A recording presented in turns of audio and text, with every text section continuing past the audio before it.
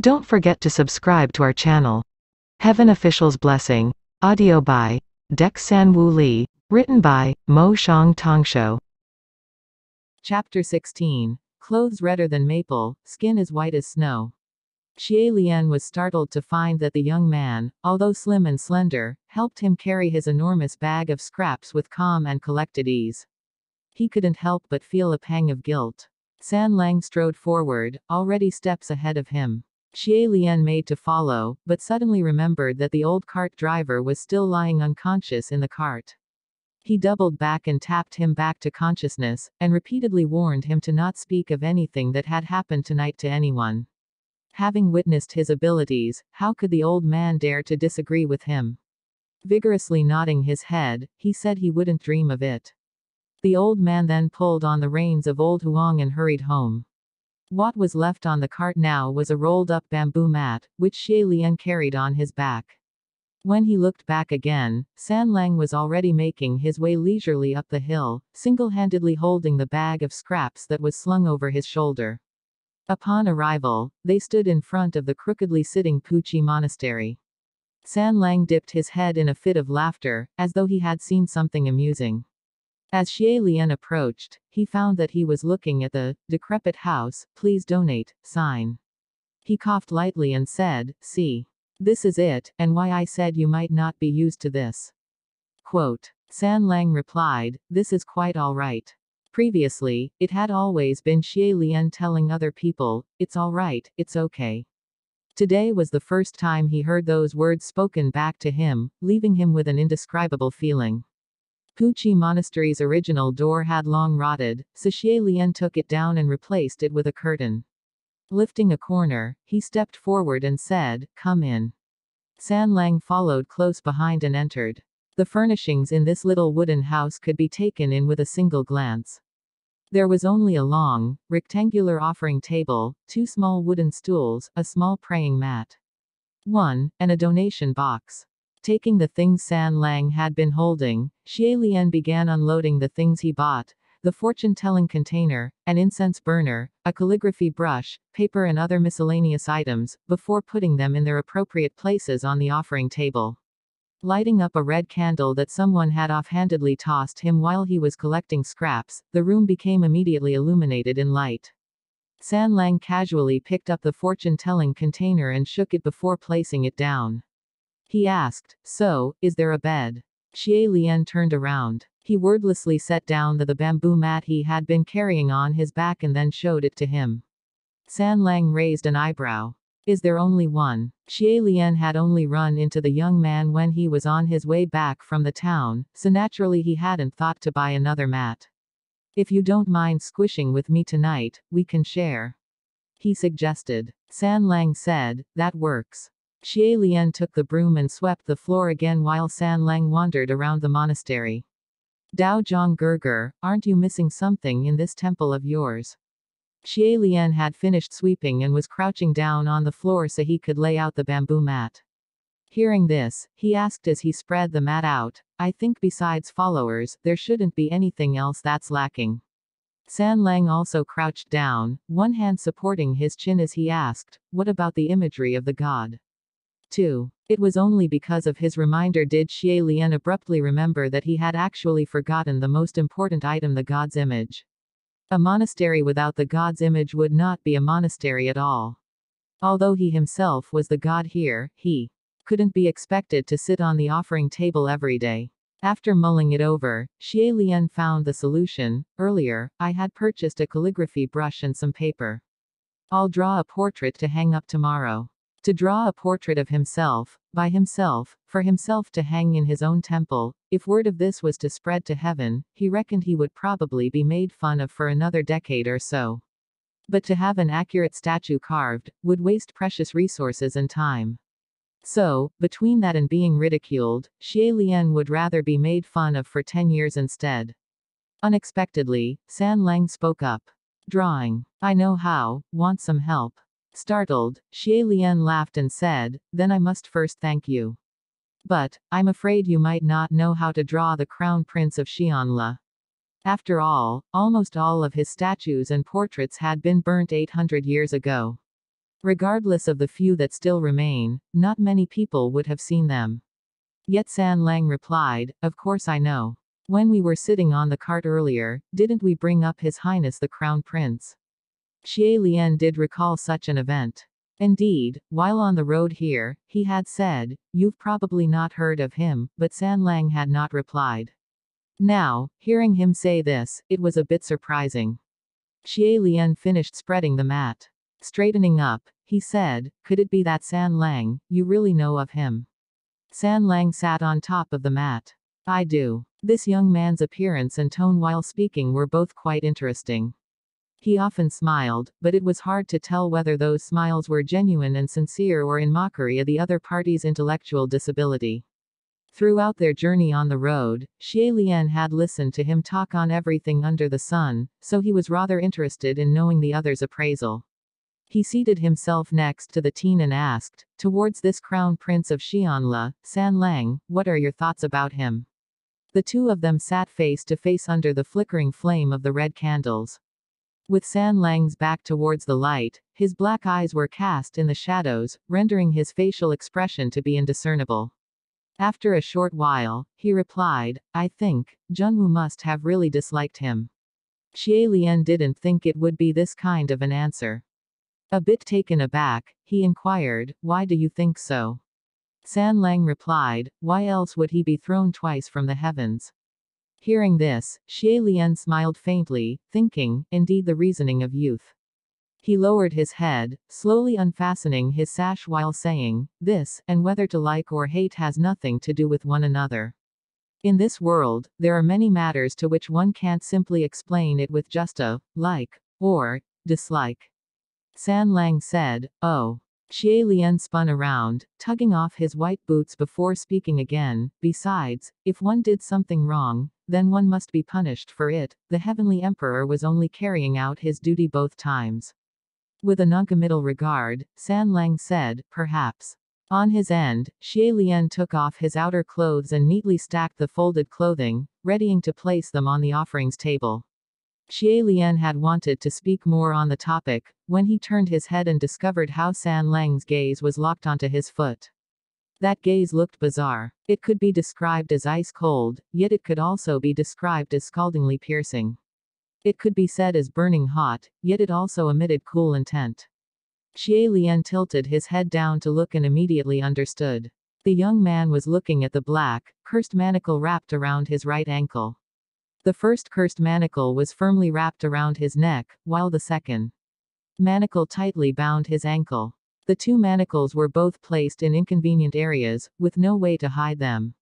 In the past, if others were to ask about them, Xie Lian randomly made up an answer and said that they was necessary for practicing his art.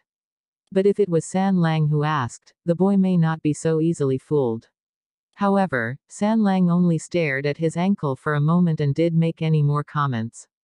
Xie Lian also didn't want to entangle himself on the topic and proceeded to lie down. The young man also obediently laid down beside him with his clothes still on. Guessing he was probably unused to sleeping on the floor undressed, Xie Lian thought to himself that he should really get a bed. Let's rest, he said. With a light blow, the red candle's flame was extinguished. The following morning, when Xie Lian opened his eyes, he noticed that San Lang was not lying next to him. Lifting his head to look around, his heart suddenly shook. Unexpectedly, above the offerings table was a portrait. The portrait was of a man clad in splendid clothing and a golden mask, wielding a sword in one hand and holding a flower in the other. The vigor in each brush stroke were excellent, and the colors used were exquisite. This was in fact a portrait of the Xianle crown prince who pleased the gods. It had been many years since Xie Lian had last seen this painting, so he stared at it blankly for a while before finally getting up. After dressing himself, he pulled aside the curtain. San Lang was outside the monastery, resting in a patch of shade.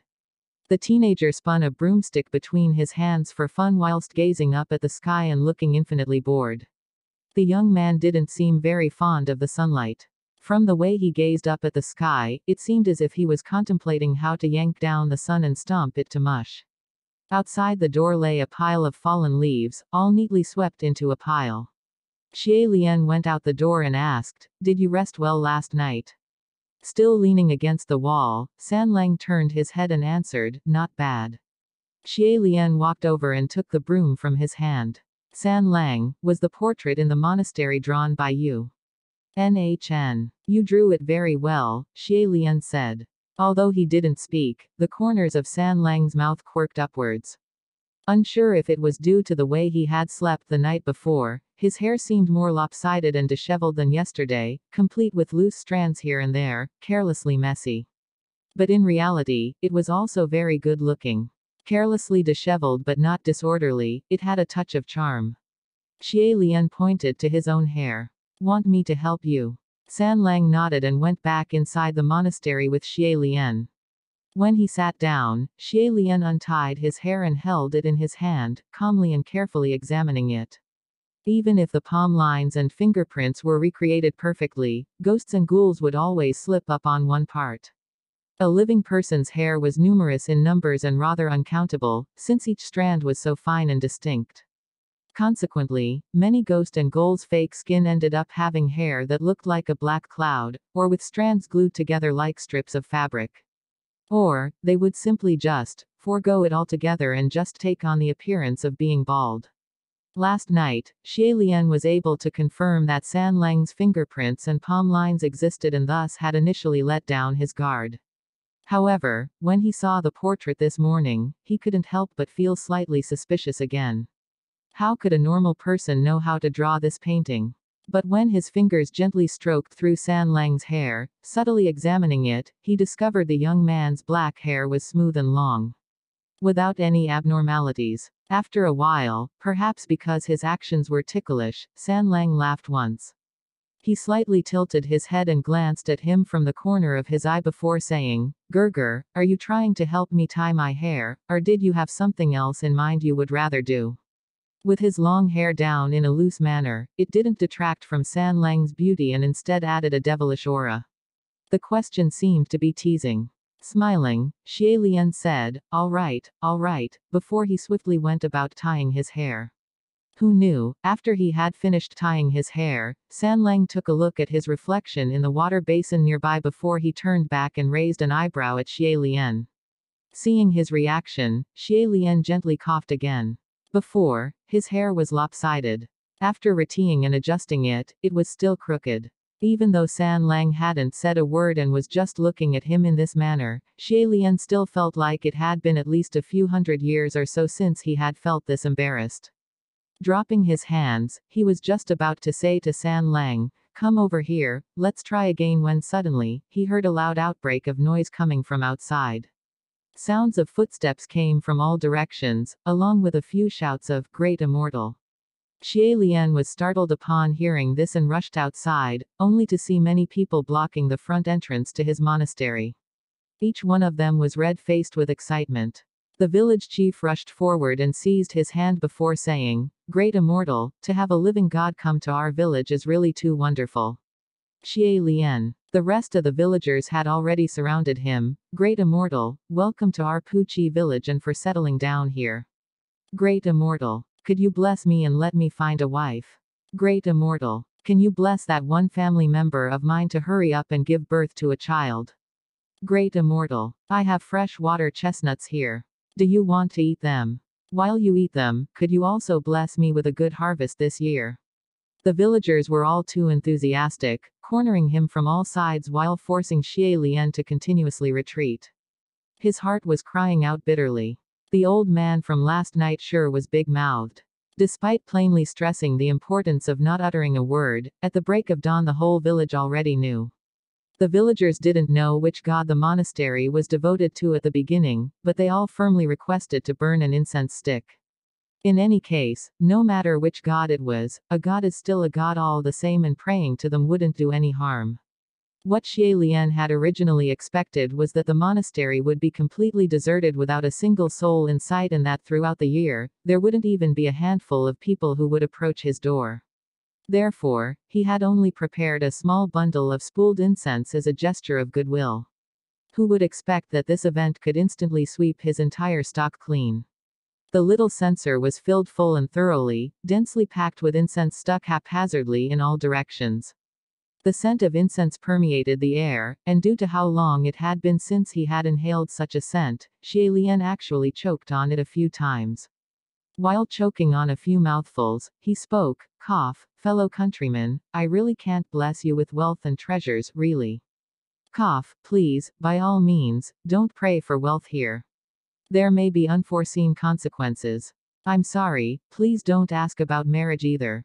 No, no, I also can't bless you in regards to bearing and raising children. Ellipsis ellipsis ellipsis. San Lang had also stopped minding his crookedly tied hair and sat right beside the donation box, with a hand propping his chin and with the other lazily throwing chestnuts into his mouth as he ate. Several village women caught sight of him, their faces blushing over like crimson clouds before they asked Xie Lian, um, that, do you? Even though he didn't know what they were about to ask, Xie Lian's intuition told him he had to stop them immediately, so he said, no. With great difficulty, the crowd finally dispersed, leaving the offering table now filled with fruits, vegetables, and even white rice, noodles and other items. For better or worse, he had at last received a wave of offerings. Xie Lian swept out the litter that the villagers had left outside. San Lang followed him out, saying, The incense is quite nice. Xie Lian swept while shaking his head. Under normal circumstances, 10 days to half a month would pass without a single person coming in for a blessing. How could this be? San Lang asked. Xie Lian glanced at him, smiling, now that I think about it, perhaps San Lang's luck has rubbed off on me a bit. Quote. As he said this, he remembered he had wanted to change the door curtain. Thus, tugging out a new curtain from within his sleeve, he hung it on top of the door. He took two steps back to look it over, when suddenly, he noticed that San Lang had stopped in his tracks. Xie Lian turned around his head and asked, What's wrong? Only to see San Lang staring at the curtain, a pensive expression on his face. Following his line of sight, Xie Lian saw that he was eyeing the spells written on the curtain. This talisman was something he had casually drawn some time ago, and on it were spells upon spells, layering one over another. Its defense was very strong. Its purpose was originally for warding off evil and it could repel the advances of any evil outside, preventing them from entering. Yet, since this was written by Xie Lian himself, would this also work in attracting misfortune at the same time? There was no way of knowing. However, since the monastery didn't even have a front door, it would be safer to have a row of spells drawn onto the curtain. Seeing how the young man stood in front of the curtain, motionless, something stirred within Xie Lian, San Lang.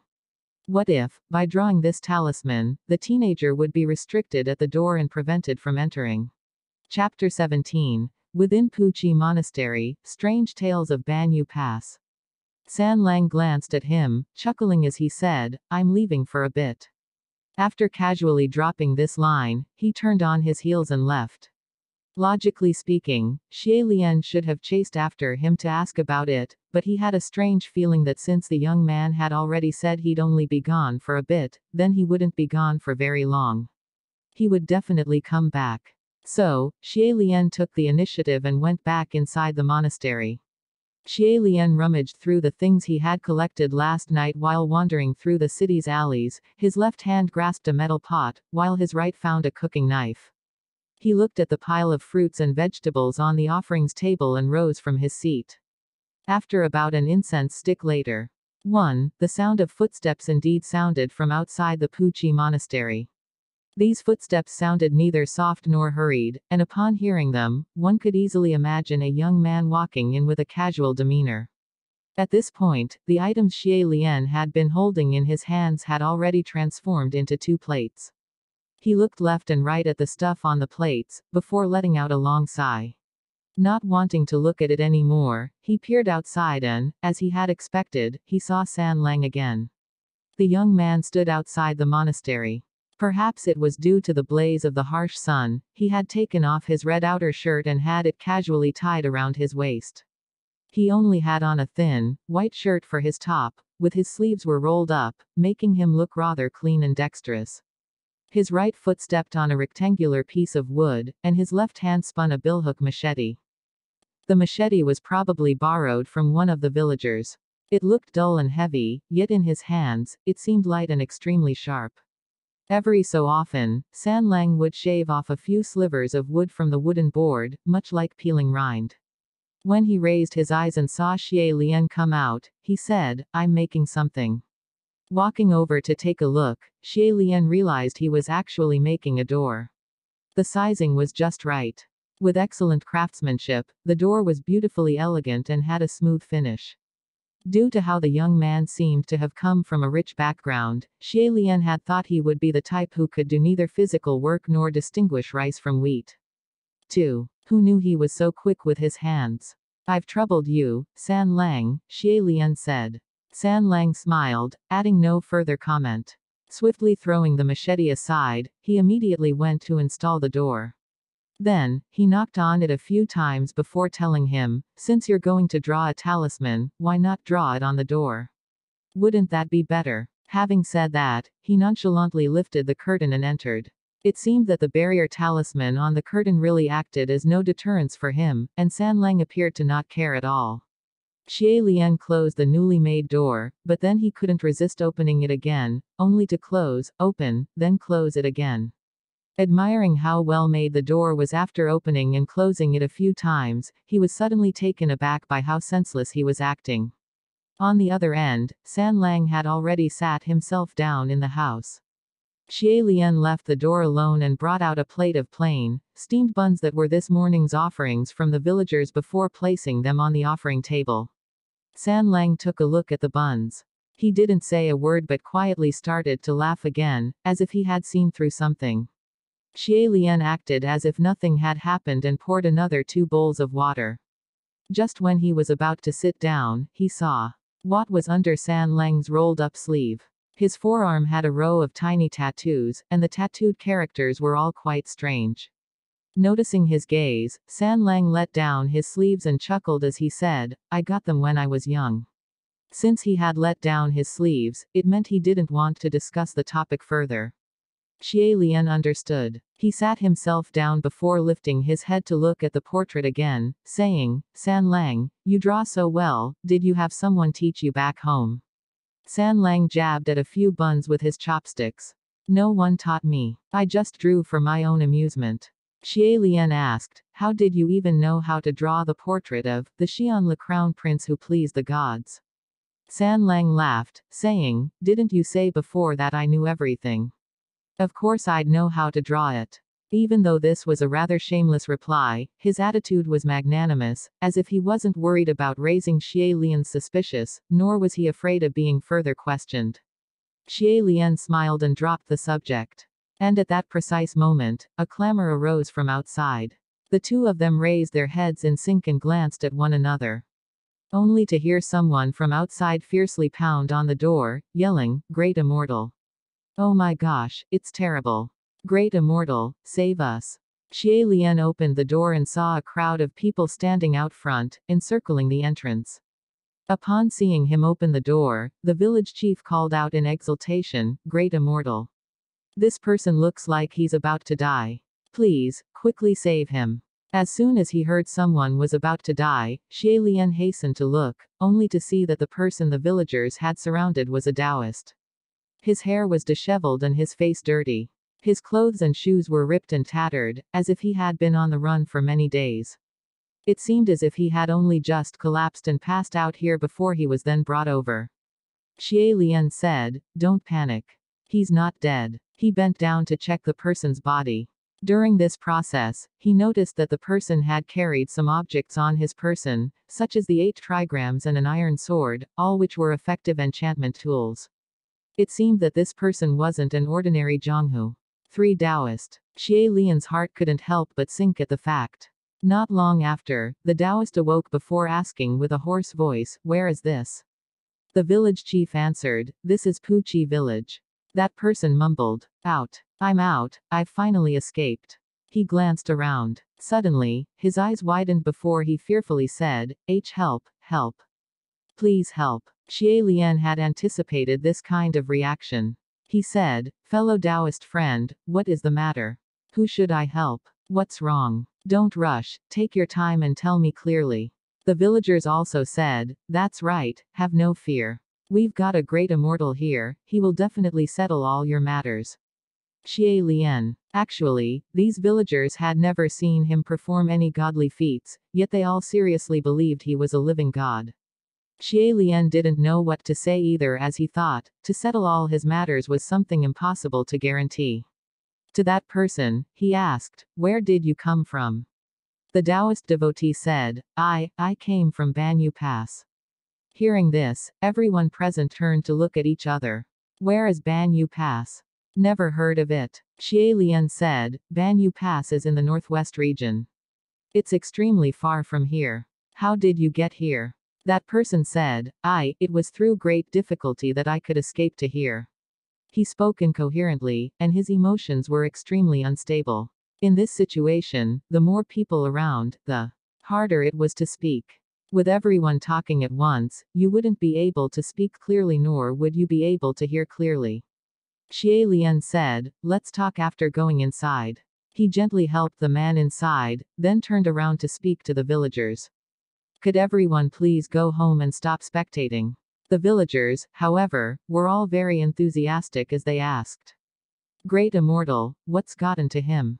Yeah, what happened? If there are difficulties, we will all pitch in to help. Sadly, the more enthusiastic they were, the more they would be incapable of assisting. Feeling helpless, Xie Lian lowered his voice and solemnly said, This could be possession. The villagers were aghast upon hearing those words. Possession was nothing to joke about. It wouldn't do for them to keep watching, so they all quickly dispersed. Xie Lian, unsure of whether to laugh or cry, closed the door. San Lang was still seated beside the offering table, his hands twirling a pair of chopsticks for fun. He was squinting at that man, his gaze rather scrutinizing. Xie Lian told him, It's nothing. You can continue eating. He let that man sit down, but remained standing himself. This Taoist friend, I am this monastery's master, and I can also be considered as a cultivator. Don't worry, if something has happened, you can say it. And, should there be something I can help you with, perhaps I can lend what little strength I have. In regards to what you mentioned earlier, what happened to Ban Yu?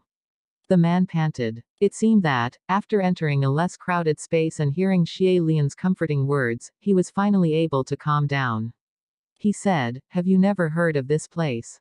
Yet, Xie Lian replied, I've heard of it. Banyu Pass is an oasis within a Gobi desert. 4. Banyu's nightscape is extremely beautiful, and can be described as quite a dazzling scenic view. That was how it got its name. That man said, Oasis. Scenic. Those were times from two centuries ago. Now, calling it the Ban Ming Pass. 5 would be more accurate. Slightly perplexed, Xie Lian asked, What do you mean? The man's complexion turned pale to the point it was frightening. He said, Because it doesn't matter where one came from, at least half of those who traveled there will disappear without a trace. Wouldn't it be more fitting for it to be called, Ban Ming Passes? This was really unheard of. Xie Lian said, Who did you hear this from? I didn't hear this from anyone. This is what I witnessed with my own eyes. Sitting up, the man continued, there was a caravan that wanted to travel through that place. They knew of the evils happening there, and had asked our whole division to escort them on their journey. In the end, his voice was filled with grief as he said, In the end, I am the only one left. Xie Lian lifted his hand and motioned him to sit well and not get too agitated. How many people were in your party? My entire sect, plus the caravan, had around 60 people. Around 60 people. When that female ghost Xuanji had wreaked havoc within the course of a century, what Lingwen Palace had finally calculated was that the total number of people killed hadn't exceeded past 200. But listening to what the Taoist had said, this sort of event seemed to have been happening for over a century. If this many people went missing every time, then adding the numbers up altogether would render this no longer a small matter. Xie Lian asked, When did Ban Yu Pass first become Ban Ming Pass? The man said, around 150 years ago was probably when it had started, when that place became the domain of evil. Xie Lian had wanted to ask in detail about the murders of his party and about this, domain of evil. But, from the very beginning to this moment, he couldn't help but faintly feel that something was off. Right up to this point, Xie Lian had no way of suppressing this feeling of suspicion in his chest. Thus, he ended the topic and began slightly furrowing his brows. Right then, San Lang suddenly spoke up. He said, You escaped all the way from Banyu Pass. The man said, Yes. Ah, it was a narrow escape. San Lang made an, oh, sound of understanding, then said no more. Yet, it only took this single question for Xie Lian to perceive just what it was that felt so wrong. Turning around, he warmly said, Then, after escaping from such a long way, you must be thirsty. The man was startled, but Xie Lian had already placed a bowl of water in front of him, saying, Here's some water, my Taoist friend. Why don't you drink some? Facing this cup of water, an uneasy expression flitted across the man's face. Xie Lian stood to the side, both hands hidden within his sleeves, quietly waiting. If this Taoist man really came from the northwest, all the while fleeing in a hurry, he was bound to be parched and starving. And looking at his appearance, it didn't seem like he had the free time on the road to eat or drink. However, after he had awakened, he had spoken so much and yet had not brought up any requests for food or drink during that whole time. Despite facing all the food and beverages on the offering table after entering the building, he hadn't displayed a single desire or wish toward them. He didn't even cast them a single glance. This really doesn't seem to be a living person. Chapter 18. Within Puqi Monastery, Strange Tales of Banyu Pass. Under the gazes of the other two in the room, the Taoist man picked up the bowl of water. With his back hunched, he began to drink it slowly. Through his body language, it didn't seem like he was a man who chanced upon rain amidst a long drought, but rather a man who was hesitant and on guard. Concurrently, as he was drinking the water, Xie clearly heard the sounds of plop, plop, plop, as though water was being poured into an empty jar. Instantly, he realized something. Grabbing the other's hand, he said, Stop drinking. That Taoist's hands shook as he stared at him in bewilderment. Xie Lian smiled and said, It's useless even if you drink. Isn't that right? Having heard what he had said, the Taoist's complexion suddenly changed. With his other hand, he unsheathed the iron sword by his waist and made to stab at Xie Lian. Xie Lian stood in place, motionless, before he raised a hand to block him. With a clang, he swiftly blocked the blade's edge. When that Taoist man saw how he was still firmly holding his hand, he gritted his teeth and yanked away. Xie Lian only felt the arm suddenly deflate, as though it were a ball that leaked air, completely shriveling up before it slid free from his grasp. As soon as the Taoist man broke free, he fled towards the door. Xie Lian wasn't worried because in this kind of place where there weren't any external forces that could obstruct him, even if the Taoist man tried to run 10 feet, Ruoye would still be able to drag him back. However, just as he lifted his wrist, a sharp wish passed by him. That noise sounded as if someone had shot a sharp arrow from behind. It immediately pierced through the Taoist man's stomach and nailed him to the door. Xie Lian fixed his gaze upon it before realizing that it was actually a single bamboo chopstick. He turned to look, and saw that San Lang had stood up from the table, his demeanor calm and unruffled. Brushing past him, San Lang pulled out the bamboo chopstick. He swayed it twice in front of him before saying, It got dirty. I'll throw it out later. As for that Taoist man, despite suffering heavy injuries, not once did he utter a single cry of pain. Instead, he silently leaned against the door and slowly slid down. What gurgled and flowed out from within his stomach was not blood, but clear water. It was in fact the very same water from that bowl he had just drunk from. The two of them both squatted next to the Taoist man. Xie Lian pressed down on his wound a couple of times, and felt as if this wound was similar to that of a punctured hole in a balloon with air seeping out from the hole. In addition, this Taoist's corpse also began to change. His previous appearance was evidently that of a robust man. Now, it looked as if this person shrunk and got rid of a whole layer of fat. His face and his limbs withered a bit whilst it shrunk in size, so his appearance now was similar to that of an old man's. Xie Lian said, It's an empty shell. Some demons and ghosts weren't capable of transforming themselves into perfect human forms. Thus, they would think of other ways, creating empty shells. They would use some extremely lifelike materials to meticulously create a fake person's skin. More often than now, skins, like these would be referenced off of real people. Sometimes, they would even just directly use a person's skin. In that case, one's palm lines, fingerprints, and hair would naturally look flawless. In addition, for an empty shell like this, as long as they didn't wear the skin themselves, the shell wouldn't be contaminated with ghost aura, so they wouldn't be afraid of those talismans that ward off evil. This would also explain why the talisman on the door didn't block the Taoist man from coming inside. However, an empty shell like this could also be easily seen through, because after all, they were just hollow dummies. If no one was to wear the skin, then it could only move according to the commands it received. In addition, these orders could not be too complicated and had to be simple, like repeated movements or ones previously set up beforehand. Thus, the appearances of these shells would usually appear relatively dull and lifeless, unlike an actual, living person. For example, they would repeat one or two phrases, do the same thing over and over, answer their own questions, or answer evasively.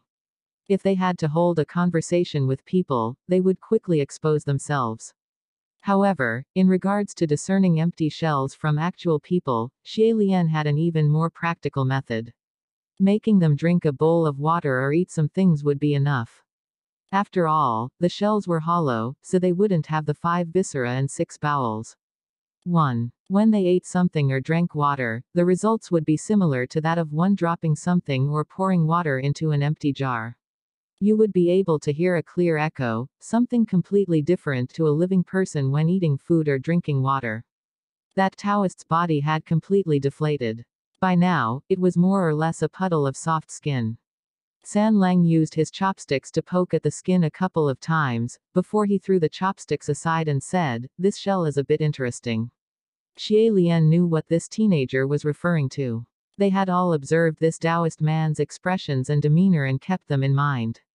Not only did he behave lifelike, he was practically a living person.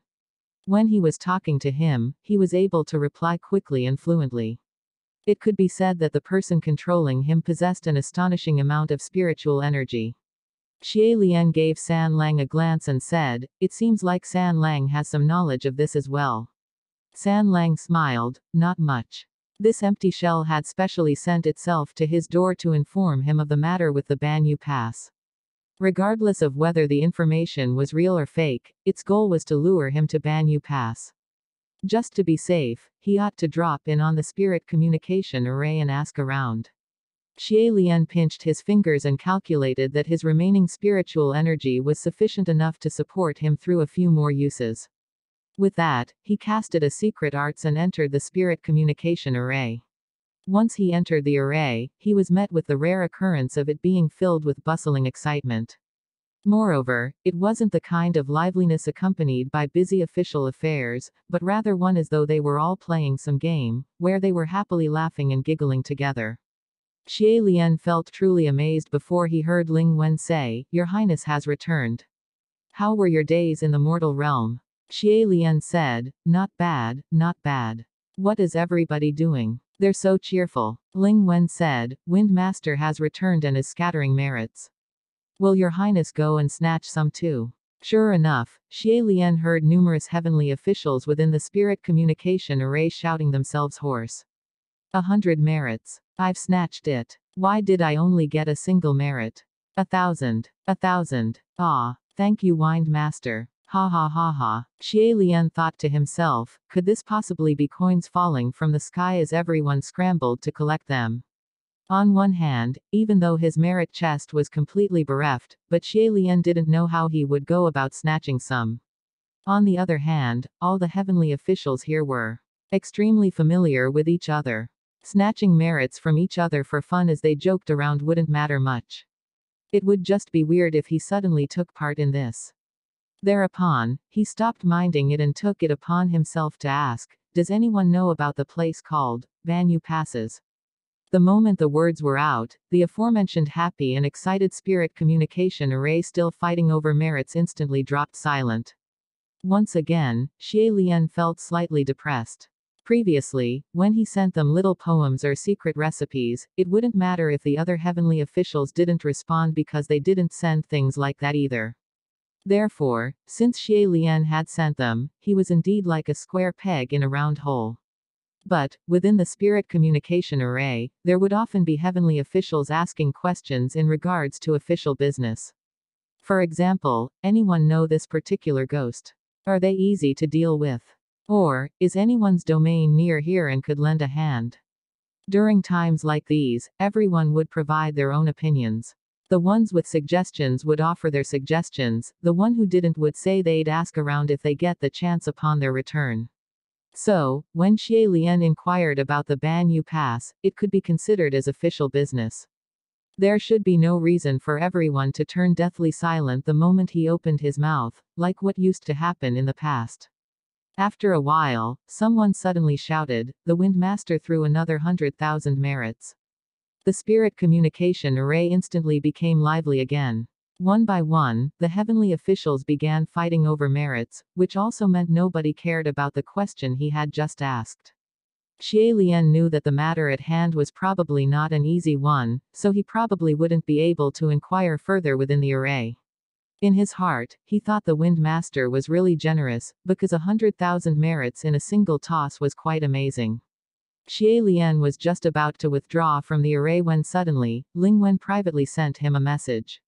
Ling Wen asked, Your Highness, why are you suddenly asking about the Banyu Pass? Thus, Xie Lian told her about how an empty shell had sent itself to his door. He continued, that shell pretended he was a survivor that had escaped from Banyu Pass, so it's inevitable that he came with a purpose. I didn't know whether or not the things he told me were true or false, so I came here to ask. What happened to that place? On her side, Ling Wen pondered for a moment before she said, Your Highness, in regards to this matter, I advise you to not take part. Xie Lian had more or less expected being told something like this. Otherwise, it was unlikely for this to have persisted for 150 years without anyone having inquired about it.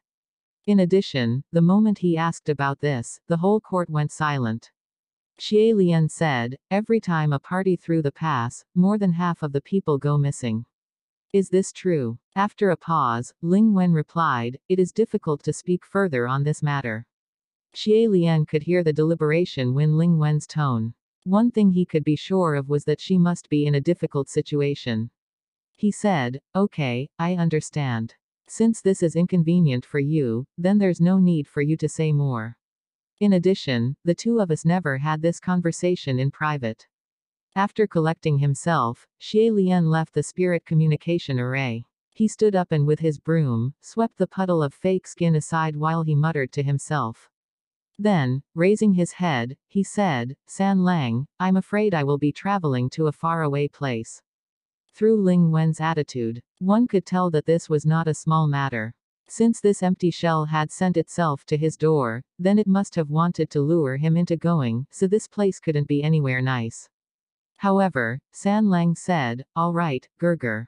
If you don't mind, take me along with you. Finding this strange, Xie Lian asked, The journey will be long with arduous sand winds, why would you want to come along? San Lang laughed and said, Do you want to know what's going on with Banyu Pass? Xie Lian paused before saying, You even know about this. San Lang crossed his arms and said in a leisurely tone, The Banyu Mountain Pass wasn't originally named, Banyu Mountain Passes. 200 years ago, that was the location for the ancient country Banyu. He slightly sat up straighter, and, with his eyes as bright as stars, he continued, Banyu's demonic path is in fact. Xie Lian placed the broom against the wall and was just about to sit down and listen. However, at the same time, a knocking noise sounded from outside the door. As of now, it was already nighttime. All the villagers were scared back into their homes, afraid to come back out by Xie Lian's words of the Taoist man, being possessed. Thus, who could have knocked on their door? Xie Lian stood beside the door and held his breath for a moment, but he didn't feel anything unusual coming from the talisman on his door. Following that, he once again heard another two knocks. From the sound of these knocks, it seemed like there were two people simultaneously knocking on the door. He pondered for a bit before opening his door. Sure enough, two teenagers dressed in black stood outside his doorway. One looked bright and handsome, the other elegant and refined. They were precisely Nan Feng and Fu Yao. Xie Lian spoke up, you too. Fu Yao took the lead and rolled his eyes. Right off the bat, Nan Feng asked, Are you going to Banyu Pass? Xie Lian said, Where did you guys hear that from? Nan Feng replied, A few heavenly officials were talking about it on the road. I heard you were asking about the Banyu Pass today in the spirit communication array. Xie Lian immediately understood. With both hands covered by his sleeves, he said, I understand. I volunteered, right. Both of them displayed distorted expressions, as if it were caused by a toothache. Yes. Xie Lian couldn't help but laugh. I get it, I get it. But let's agree on this first, if we come across anything beyond what we're capable of dealing with, feel free to flee at any time. At once, he shifted his body to the side and then invited them inside to fill them in on the details. But who knew, the moment the two of them saw the teenager sitting lopsided behind him, their originally dark complexions instantly turned ashen. Nan Feng flashed inside, scrambling to place himself in front of Xie Lian before he yelled, Back away. Chapter 19. Within Puqi Monastery, Strange Tales of Banyu Pass. What's wrong? Xie Lian asked. Sitting, San Lang spread his hands out and also asked, What's wrong? Fu Yao frowned. Who are you? Xie Lian replied, This is a friend of mine. Do you guys know him? With a face full of innocence, San Lang said, Gerger, who are these two people? Hearing him call Xie Lian, Gerger, made the corner of Nan Feng's mouth spasm as Fu Yao's eyebrows twitched. Xie Lian waved a hand at San Lang. It's nothing. Don't worry. Only to have Nan Feng interrupt him with a yell, don't talk to him. What, do you guys know him? Xie Lian said. Quote ellipsis ellipsis quote. Fu Yao coldly replied, No we don't. If you don't know him, then why are the two of you being so? Xie Lian hadn't finished his sentence when he suddenly felt something glow from both sides. When he looked back, he found that the two of them were simultaneously amassing spheres of white light in their right hands. Xie Lian felt a foreboding premonition well up and hastily intervened, Stop, stop. Don't be so rash. The two spheres of white light that had risen from thin air sparked and looked incredibly dangerous. It was definitely not something normal people could make. San Lang clapped, as if out of courtesy. Amazing, amazing. These words of praise completely lacked sincerity. With great difficulty, Xie Lian finally restrained both of their arms. Nan Feng turned around and angrily asked him, Where did you meet this person? What is his surname? 1. Where does his family live? Where did he come from? Why is he with you? Xie Lian answered, We met on the road, his name is San Lang, and I don't know the rest. Because he had nowhere to go, I had him come with me. Let's not be so reckless now, alright. You, Nanfeng held his breath and looked as if he wanted to scold him, but then he forcibly suppressed himself. He asked, You don't know a thing about him and yet you let him in. What if he had any ill intentions? Xie Lian wondered why Nan Feng's tone sounded as if he were his dad. If he had been swapped with a different heavenly official, or even a different person, hearing someone younger than you speaking to you in this way would have already caused them unhappiness. But Xie Lian had already reached a point where he had long became completely disaffected by any berating and ridicule thrown his way. He also knew that the two of them had good intentions, so he paid it no mind. Just at this moment, San Lang asked, Gerger, are these your servants? Xie Lian warmly said, the term, servant, is wrong. To be more accurate, it would be helpers. San Lang laughed and said, really? He stood up. Conveniently grabbing something, he tossed it to Fu Yao, then, why don't you help out a bit? Fu Yao caught it without even looking. Holding it in his hands, he tilted his head down to look when suddenly, a dark aura erupted from him. That youngster had actually thrown him a broom. His expression looked as if he was ready to smash both the teen and the broom itself to dust right then and there. Xie Lian rushed forward and swiftly took the broom away. Be calm, be calm. I only have this one broom. Who knew? Just as he said this, Fuyao released the white sphere of light in his palm. He hollered, immediately reveal your true form. San Lang didn't make any effort to dodge. He remained in his sitting position with his arms crossed, and only slightly leaned to the side. That dazzling white light hit one of the legs of the offerings table. When the table tilted, the tableware slid off and crashed to the floor. Xie Lian placed a hand on his forehead, feeling that this could not continue. With a wave of his hand, Ruoye abruptly flew out and tied up Nan Feng and Fu Yao's arms. The two struggled to get free but were unsuccessful. Nan Feng raged, What are you doing? Xie Lian made the timeout gesture and said, Let's talk outside. Talk outside. With another wave of his hand, Ruoye started dragging the two outside. Xie Lian turned around his head to tell San Lang, I'll be right back. He closed the door behind him, and stood in front of the monastery. He then released Ruoye, grabbed the sign in front of the door, before placing it in front of the two. Please read this and tell me what it says. Fu Yao, facing the sign, read, This monastery is dilapidated. Sincerely seeking benevolent people to donate in order to renovate it. Accumulate merits and virtue. He raised his head, a dilapidated house seeking donations. You wrote this. No matter what, you are still an ascended heavenly official. How can you write this kind of thing? Where is your dignity? Xie Lian nodded his head. That's right. I wrote it. If you guys continued fighting in there, I would be pleading for reconstruction instead of renovation. Then, I would really have no dignity left. Nan Feng pointed at the Puqi monastery and said, You don't think that young man is odd? Xie Lian replied, Of course I do. If you clearly know he's dangerous, why do you still dare to keep him by your side? Xie Lian saw that they had no intention of donating funds, so he went to put the sign back down and said, Nan Feng, your words just now aren't right. In the world, a person's dispositions and strange encounters are countless. Odd doesn't necessarily equate to dangerous. One would know, to another's eyes, I must seem odd as well. But, do either of you feel that I'm dangerous? Quote ellipsis ellipsis quote. This actually could not be refuted. This person clearly had fine bone structure and the refreshing appearance of an immortal, yet, on the contrary, collected trash all day. It was definitely weird. Fu Yao said, You aren't afraid he's scheming against you. Xie Lian asked, Do you think I have anything worth scheming for? As soon as he said that, Nanfeng and Fu Yao were both rendered speechless. This question was actually very reasonable. If a person was being targeted in a scheme, it was usually because of their wealth. But what was sad was that, if one really thought about it, there wasn't anything valuable worth scheming for that the current Xie Lian would own. If one wanted money, he had no money. If one wanted treasures, he had no treasure. Unless someone resorted to coveting the scraps he collected every day. Xie Lian added, Besides, it's not like I haven't inspected him already. The two focused their attention on him. How did you inspect him? What was the outcome? Xie Lian relayed the few times he had inspected him to the two and said, there were no results. I've already examined him to this extent. If he isn't an ordinary human, then there can only be one possibility. A calamity class. Fu Yao sneered, what if he really is a calamity?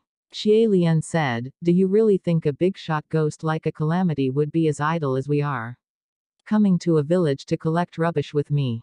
We're not idle at all. Yes, yes, yes. Up on the small hill outside the Puqi monastery, the three of them could hear the sound of that young man's leisurely footsteps as he walked around the building. They sounded as though he was content and without a care in the world. Nan Feng dropped his tone and said, This won't do. We still have to think of a way to test whether or not he really is a calamity. Xie Lian kneaded the space between his eyebrows, saying, then go test him. Just don't go over the top. What if he really is only a spoiled kid who has run away from home? I get along pretty well with this. Kid. Be nice, don't bully him. Hearing the phrase, don't bully him, Nan Feng's expression became hard to explain with just a few words, while Fu Yao's eyes almost rolled to the back of his head. Xie Lian warned them again, before he reopened the door. San Lang's head was lowered, like he was inspecting the leg of the offerings table. Xie Lian softly called, You're not hurt, are you? San Lang laughed and said, I'm fine. Just checking to see if this table is fixable or not. Xie Lian warmly said, What happened earlier was only a misunderstanding, please don't take offense.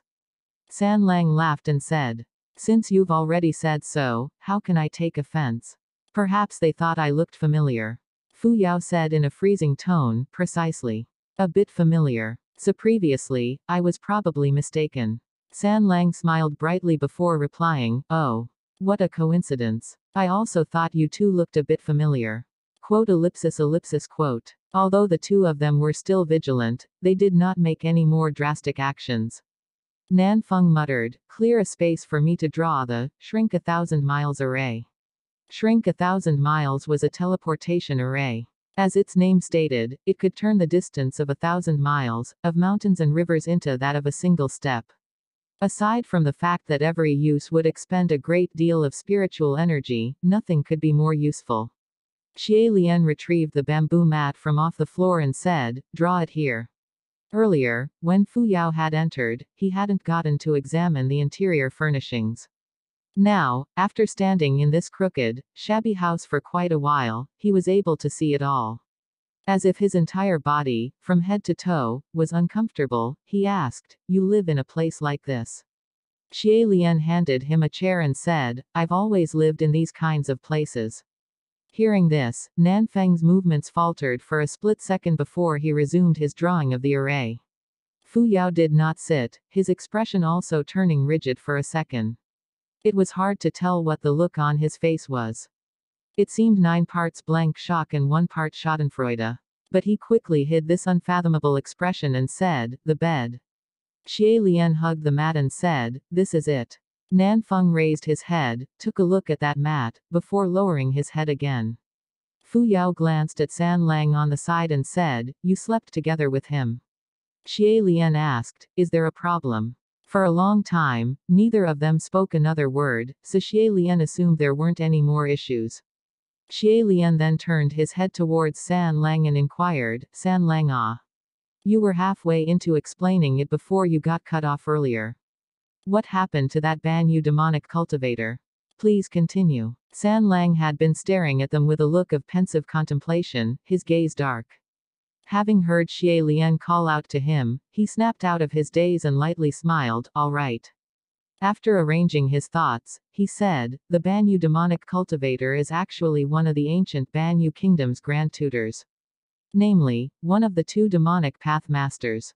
If there are two demonic path masters, then it obviously involves two people. Who's the other one? San Lang had an answer for every question. Unrelated to the Banyu kingdom. A demonic master from the central plain, called Grand Tutor Fang Xin. Xie Lian's eyes slowly widened a fraction before he continued on listening. As it turned out, Banyu's people were extraordinarily strong and partial to violence and war, and they wielded great influence. They captured an important checkpoint in the western regions of the Central Plains, causing the two nations to frequently intrude on each other's borders, unceasing in conflicts. Battles big and small erupted frequently. Their grand tutor was skilled with sorcery, and the troops had the utmost faith towards them, willing to follow them even unto death. However, 200 years ago, the king of the Central Plains finally organized an army to attack, utterly flattening the Banyu kingdom. Although the Banyu kingdom was extinguished, the Grand Tutor and troops' hatred and resentment did not disperse. They remained to haunt the place. Banyu Kingdom used to be a state full of greenery, but after it turned into Banyu Pass, it seemed as if the evil energy had corroded the once lush scenery and it was slowly consumed by the surrounding Gobi Desert. It was said that at night, people could still see the lofty silhouettes of the Banyu soldiers, grasping a wolf tooth club, as they roamed the Gobi in search of prey from afar. Originally, this place had tens of thousands of inhabitants.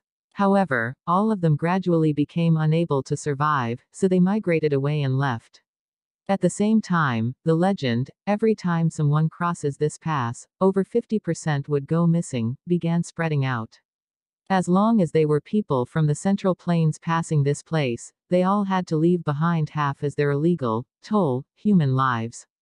Fu Yao put on a fake smile. This young master sure knows a lot. San Lang smilingly said, Not at all, not at all. It's only that what you know is too little.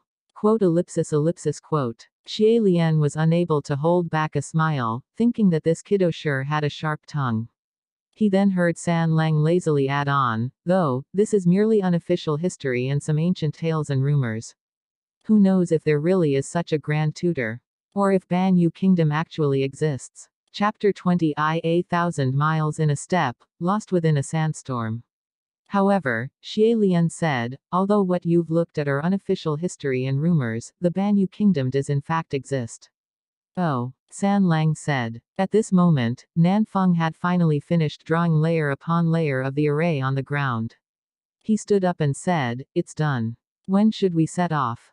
Xie Lian quickly packed a bundle before making his way to the front of the door. Let's go now. Placing his hand on the door, he said, May the heavens officials bless us, all taboos are off. 1. And then lightly pushed. The moment the door pushed open, the small hillside and village vanished. What stood in its place was an empty main street. Despite the main road being wide, there were in fact very few people around. Half a day could go by and one would only see a pedestrian or two. This wasn't because the sky had gone dark, but because it was less populated in the northwest to begin with. In addition, since it was near the Gobi Desert, even if it was during the day, there still wouldn't be many pedestrians on the road. Xie Lian walked out of the building and reached behind him to close the door. He looked back again and wondered, how in the world could he have just walked out of Puqi Monastery? What sat behind him right now was clearly a small inn. With a single step, he had traveled a thousand miles. This was precisely the mystical aspect of a distance reducing technique. A few passers-by walked by, mumbling among themselves while staring at them with guarded looks. At this moment, he heard San Lang speak from behind him. According to the ancient texts, when the moon sinks from the sky, follow the northern star and you would end up seeing Banyue Kingdom. Gerger, look, he pointed towards the sky and said, the Big Dipper. Xie Lian raised his head to take a look and then said with a smile, The Big Dipper, it's so bright. San Lang came to his side and stood shoulder to shoulder next to him. He gave Xie Lian a glance before he also raised his head and smiled. That's right. For some unknown reason, the night sky in the northwest appears to be a bit brighter and clearer than the sky from the central plains. Xie Lian expressed his agreement with those words. On their side, San Lang and himself were deep in conversation about the night sky and stars, while the two young martial gods behind them found the both of them to be absolutely outrageous. Nan Feng asked, Why is he also here? San Lang said innocently, Oh, I found the traditions of ancient divination to be very mystical, so I conveniently followed for a visit. Nan Feng angrily said, Visit. Did you think we're here to sightsee? Xie Lian massaged the space between his eyebrows and said, Forget about it. If he followed us, then he followed us. It's not like he will be eating your packed food, I should have brought enough. San Lang, follow behind me closely. Don't wander off. In a rather obedient way, San Lang replied, Okay. Is the problem even about who's eating whose packed food? Xie Lian sighed. Nan Feng, it's the middle of the night and everyone's asleep. Let's just focus on our own business, our own business. Don't mind so much about the other things. Let's go, let's go. Guided by the Big Dipper, the four of them followed the path set straight towards the north. Having traveled through the night, the towns and greenery slowly grew scarce, while the sand and rocks on the road gradually increased. Once the earth beneath their feet ceased to be soil, that was when they officially entered the Gobi Desert. Although using the distance reducing technique could save them many miles, the farther the distance, the more spiritual energy it drained. With Nan Feng having used the technique once, it would take many hours before he could use it again. And since Nan Feng had used up so much spiritual energy already, in consideration of the need to store some for potential battles, Xie Lian wouldn't ask Fu Yao to use this technique again in order to guard against the unexpected. There should at least be someone with their spiritual energy at full capacity. In the desert, the difference in temperature between night and day was drastic. During the night, the freezing temperature was cold enough to seep into one's bones, yet it was still tolerable. But come daytime, it was a whole other experience. The sky here was incredibly clear and expansive with dashes of white clouds, but likewise, the blazing sun was just as fierce. The group continued to walk, but the more they walked, the more it felt as though they were going into an enormous steamer basket. The hot air emitted from deep within the earth felt as though a day's worth of walking could steam a person alive. Xie Lian relied on the direction of the wind and the vegetation clustered at the base of the rocks to determine the direction they needed to head toward. Worried that some people would not be able to keep up with him, he would look back every so often. Nanfeng and Fu Yao were not ordinary people, thus there was no need to mention how they were doing. The sight of San Lang, however, made him laugh. With the blazing sun overhead, the young man had stripped off his outer robe and lazily draped it over himself to block the sunlight. His languid expression brought about a hint of weariness. With his fair skin, pitch black hair, and the way the red robe draped over his face, his countenance appeared even more stunning. Xie Lian took off his straw hat and lifted his hand to fasten it onto San Lang's head. He said, I'll lend you this. San Lang was stunned for a moment, before he smiled and said, There's no need.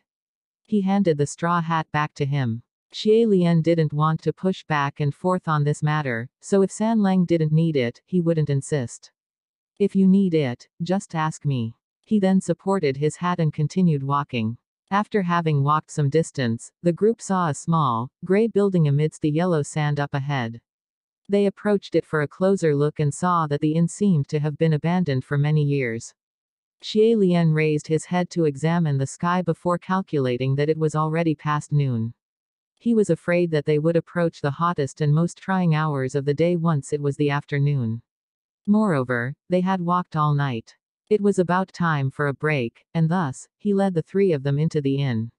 Inside, they saw a square table so they seated themselves down around it. Xie Lian took out a water bottle from the simple traveling bag on his back. He handed it over to San Lang and asked, Want some? San Lang nodded. Receiving the bottle, he drank a mouthful of water. Only then did Xie Lian take it back to drink himself. Xie Lian tilted his head back and swallowed a few times with his Adam's apple rolling up and down. The cool liquid slid down his throat and felt extremely refreshing. To the side, San Lang had propped his chin up in his hand and appeared to be staring at the scene, yet not at the same time. After some time, he suddenly asked, Is there still some left? Xie Lian wiped the edge of his mouth, where there was still some water left. His lips were slightly moist.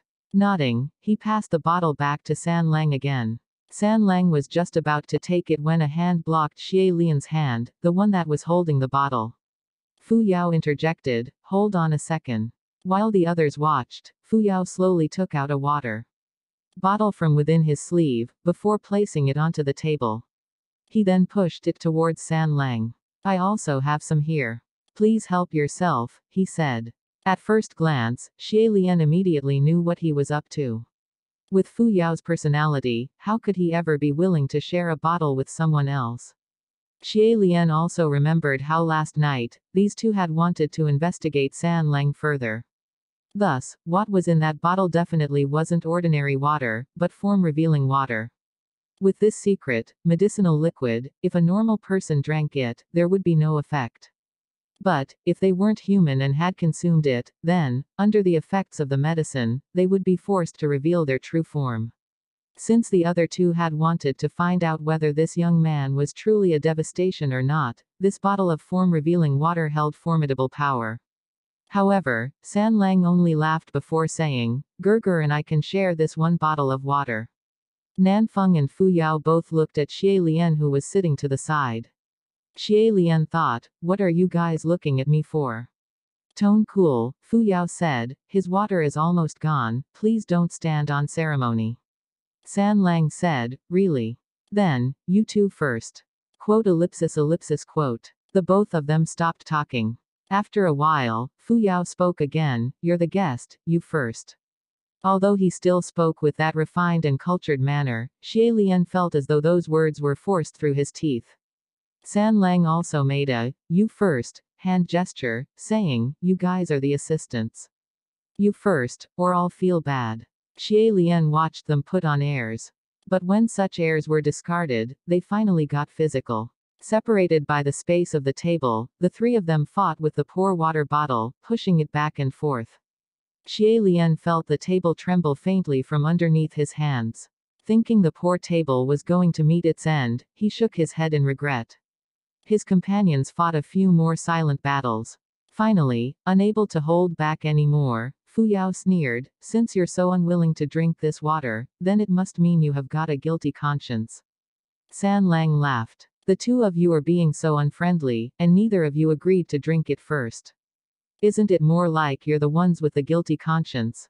Could it be that you've poisoned the water? Fu Yao said, You can ask the one sitting beside you whether or not the water contains poison. Thus, San Lang asked Xie Lian, Gerger, is the water poisoned? Fu Yao's question was really too crafty. Naturally, form-revealing water was not poisonous. When an ordinary person drank it, it was no different than drinking normal water.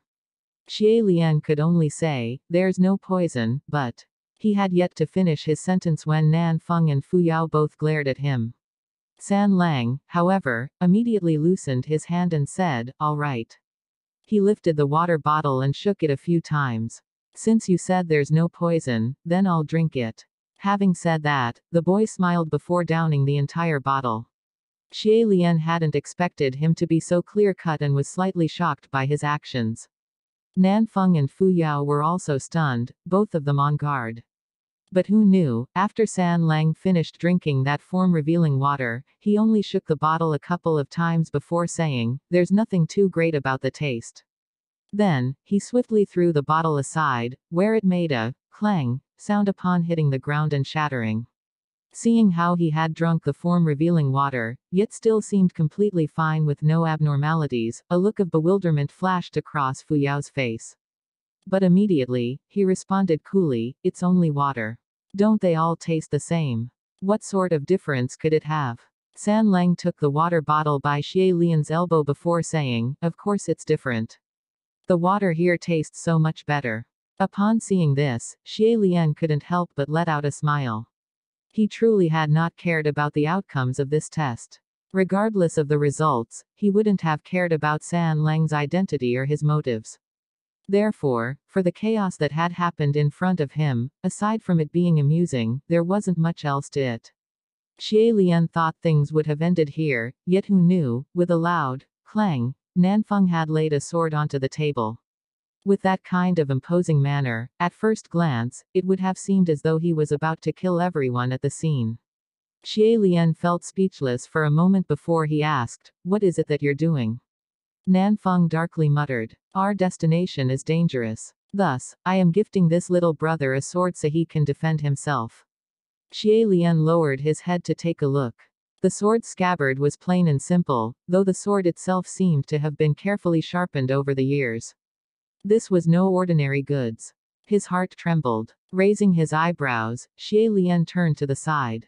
It's actually, Hong Jing. 2, he thought. Chapter 22 A Thousand Miles in a Step, Lost Within a Sandstorm.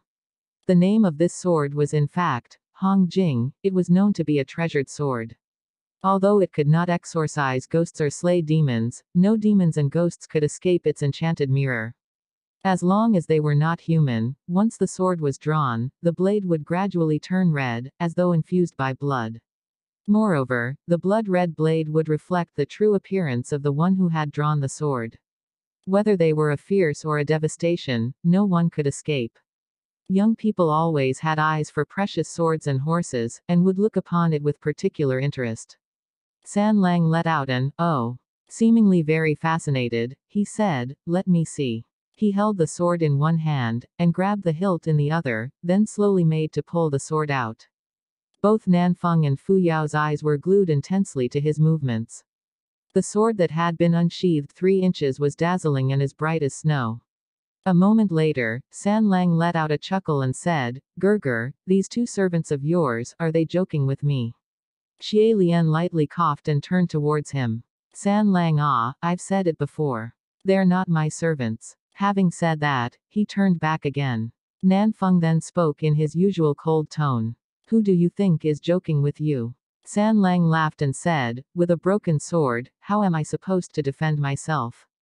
With that, he resheathed the sword and tossed it back onto the table. Hearing this, Nanfeng's brow raised in surprise.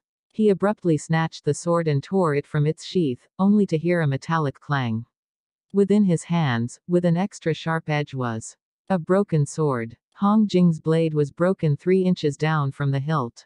Nan Feng's expression slightly shifted, before he took the sheath and poured out the remains, triggering a series of clanging noise. What was left within the sheath were the remains of the sword, all shattered into uncountable small shards. Hong Jing could distinguish all kinds of demons and ghosts, this much was true. It was never heard of that something could escape its eye, but it was also unheard of that something could cause it to break into numerous pieces within the scabbard. Nan Feng and Fuyao both pointed at San Lang. You. San Lang laughed out loud before leaning backwards with his black boots resting on the table. Taking a shard of Hong Jing, he tossed it about in his hands for fun. Before saying, I assume you guys didn't purposely give me a broken sword to protect myself. It must have broken on the way here. But worry not, I can defend myself without a sword. As for sword or whatever other things, you should keep it to use for yourselves. Xie Lian was completely unable to look directly at the sword. To speak of it, this treasured sword, Hong Jing, was originally part of Zheng Wu's collection. After his first ascension, Xie Lian had once gone to the martial gods hall to play and had seen the sword there. He felt that although the sword wasn't very practical to use, it still had its charms. Zheng Wu had then gifted the sword to him. Afterwards, he had fallen, and there had been a time where it was truly too difficult. He couldn't keep muddling through then, so he had Feng Xin pawn it off. That's right, pawned. The money received from pawning it off had been sufficient enough for the two of them to have a couple of good meals, and then, well, there was nothing further to add. During that time, Xie Lian had pawned off far too many things, so he had decided it was simply better to forget it all, lest he started remembering from time to time and make his heart bleed. Thinking back, Feng Xin, after his ascension, had probably remembered this sword and couldn't bear the idea of this rarity from his era being left wandering the mortal realm. Which led him to go back down in search for it, before he brought it back. He sharpened it, polished it, and placed it in Nanyang Palace, where it was then brought back down again by Nan Feng.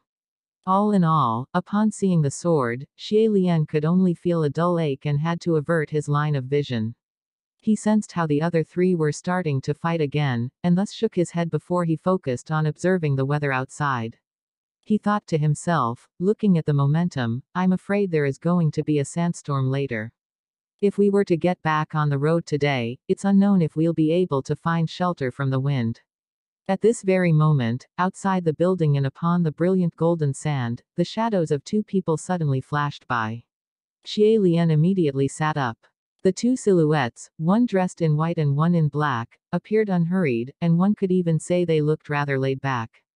Yet, clouds billowed beneath their feet, indicating their speed. The one in black was tall and lean, while the one in white was a female official with a longsword on her back and a hasu resting in the crook of her arm. The man in black did not turn around, but the female official in white turned back to give them a smile as they flashed past the small building. The smile was as fleeting as their silhouettes. For no reason, it overflowed with a treacherous and strange feeling. Xie Lian kept his gaze fixed outside, which was how he witnessed said particular scene. Within the small building, the other three were only able to catch an approximate glimpse of the silhouettes. As for everything else, they couldn't afford to take note of the details for the time being. Nan Feng suddenly got up and said, Who are those people?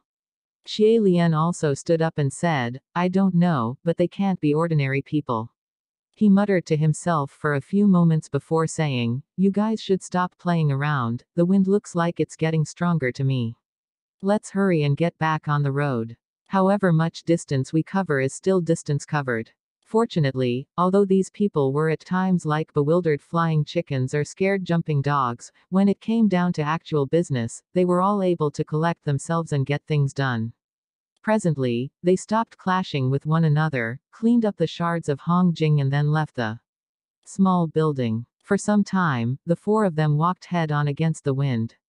And during this time, they walked for approximately four hours. But the distance they covered this time could not be compared to the four hours they had covered from before. The sandstorm was much stronger than before. The gales, bundled with sand, pelted down on them, causing the exposed skin on their faces and arms to ache dully. The more they walked, the more arduous it felt. With the sound of the wind rushing by their ears and the ever omnipresent yellow sand making their sight unclear, Xie Lian held down his bamboo hat and said, This sandstorm came about very strangely. When there was no reply from anyone after some time, Xie Lian wondered if they had fallen behind.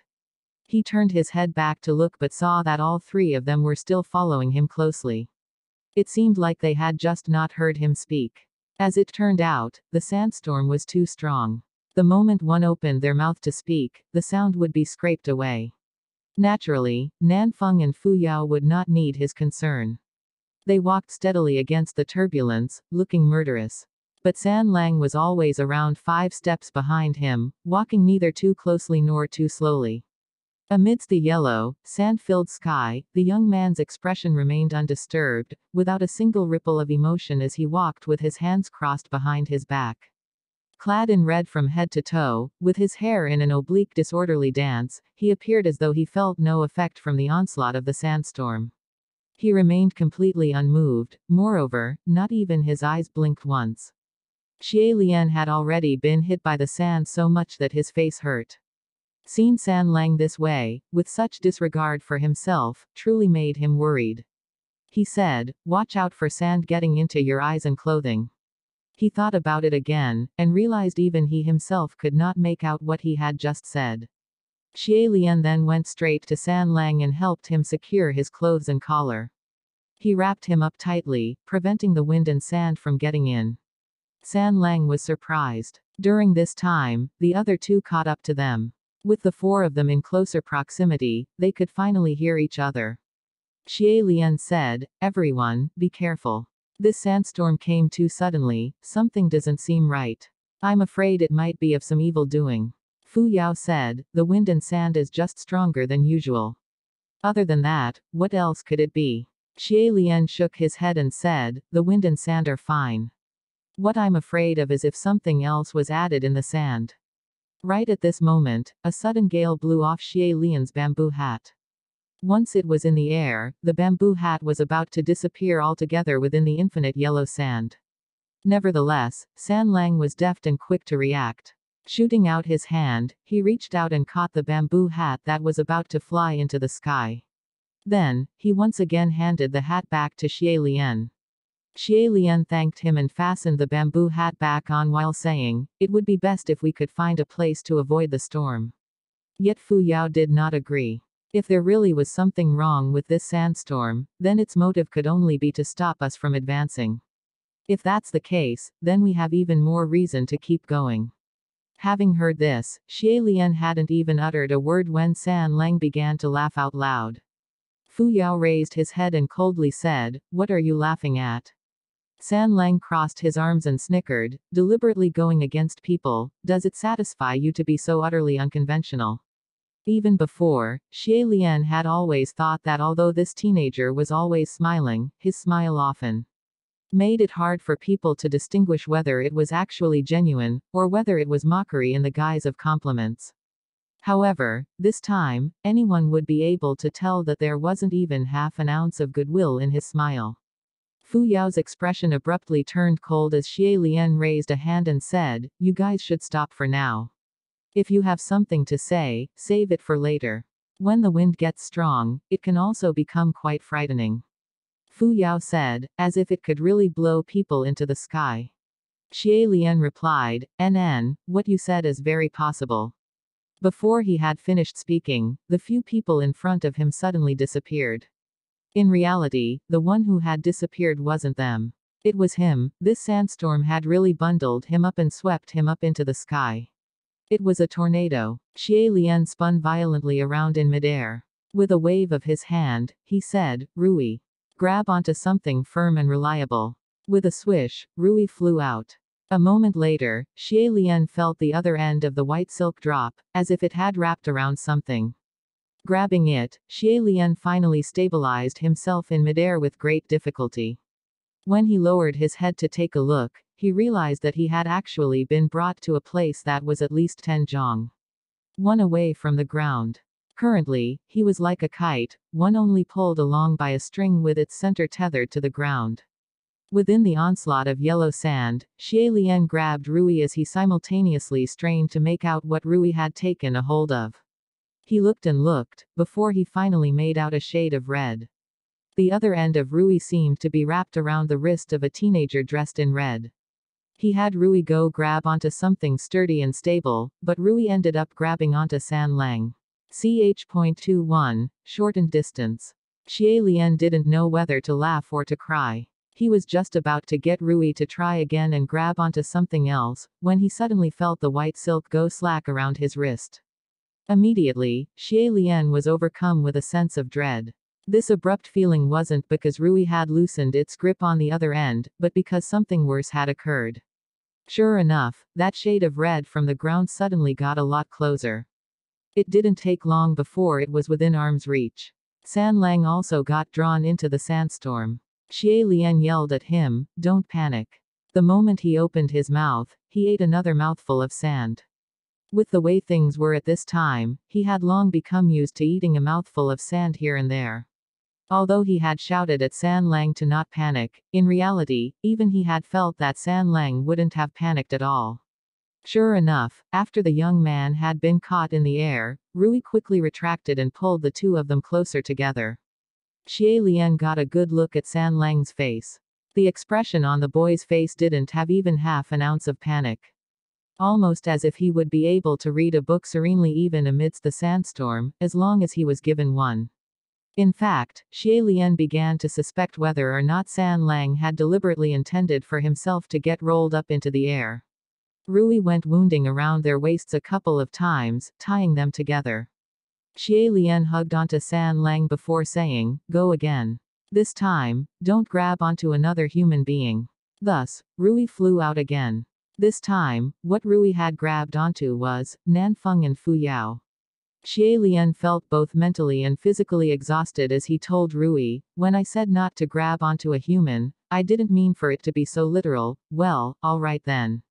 He shouted downward, in their direction, Nan Feng, Fu Yao. Hang on tight. No matter what, you must support us. Nan Feng and Fu Yao, who were still on the ground below, naturally wanted to support them.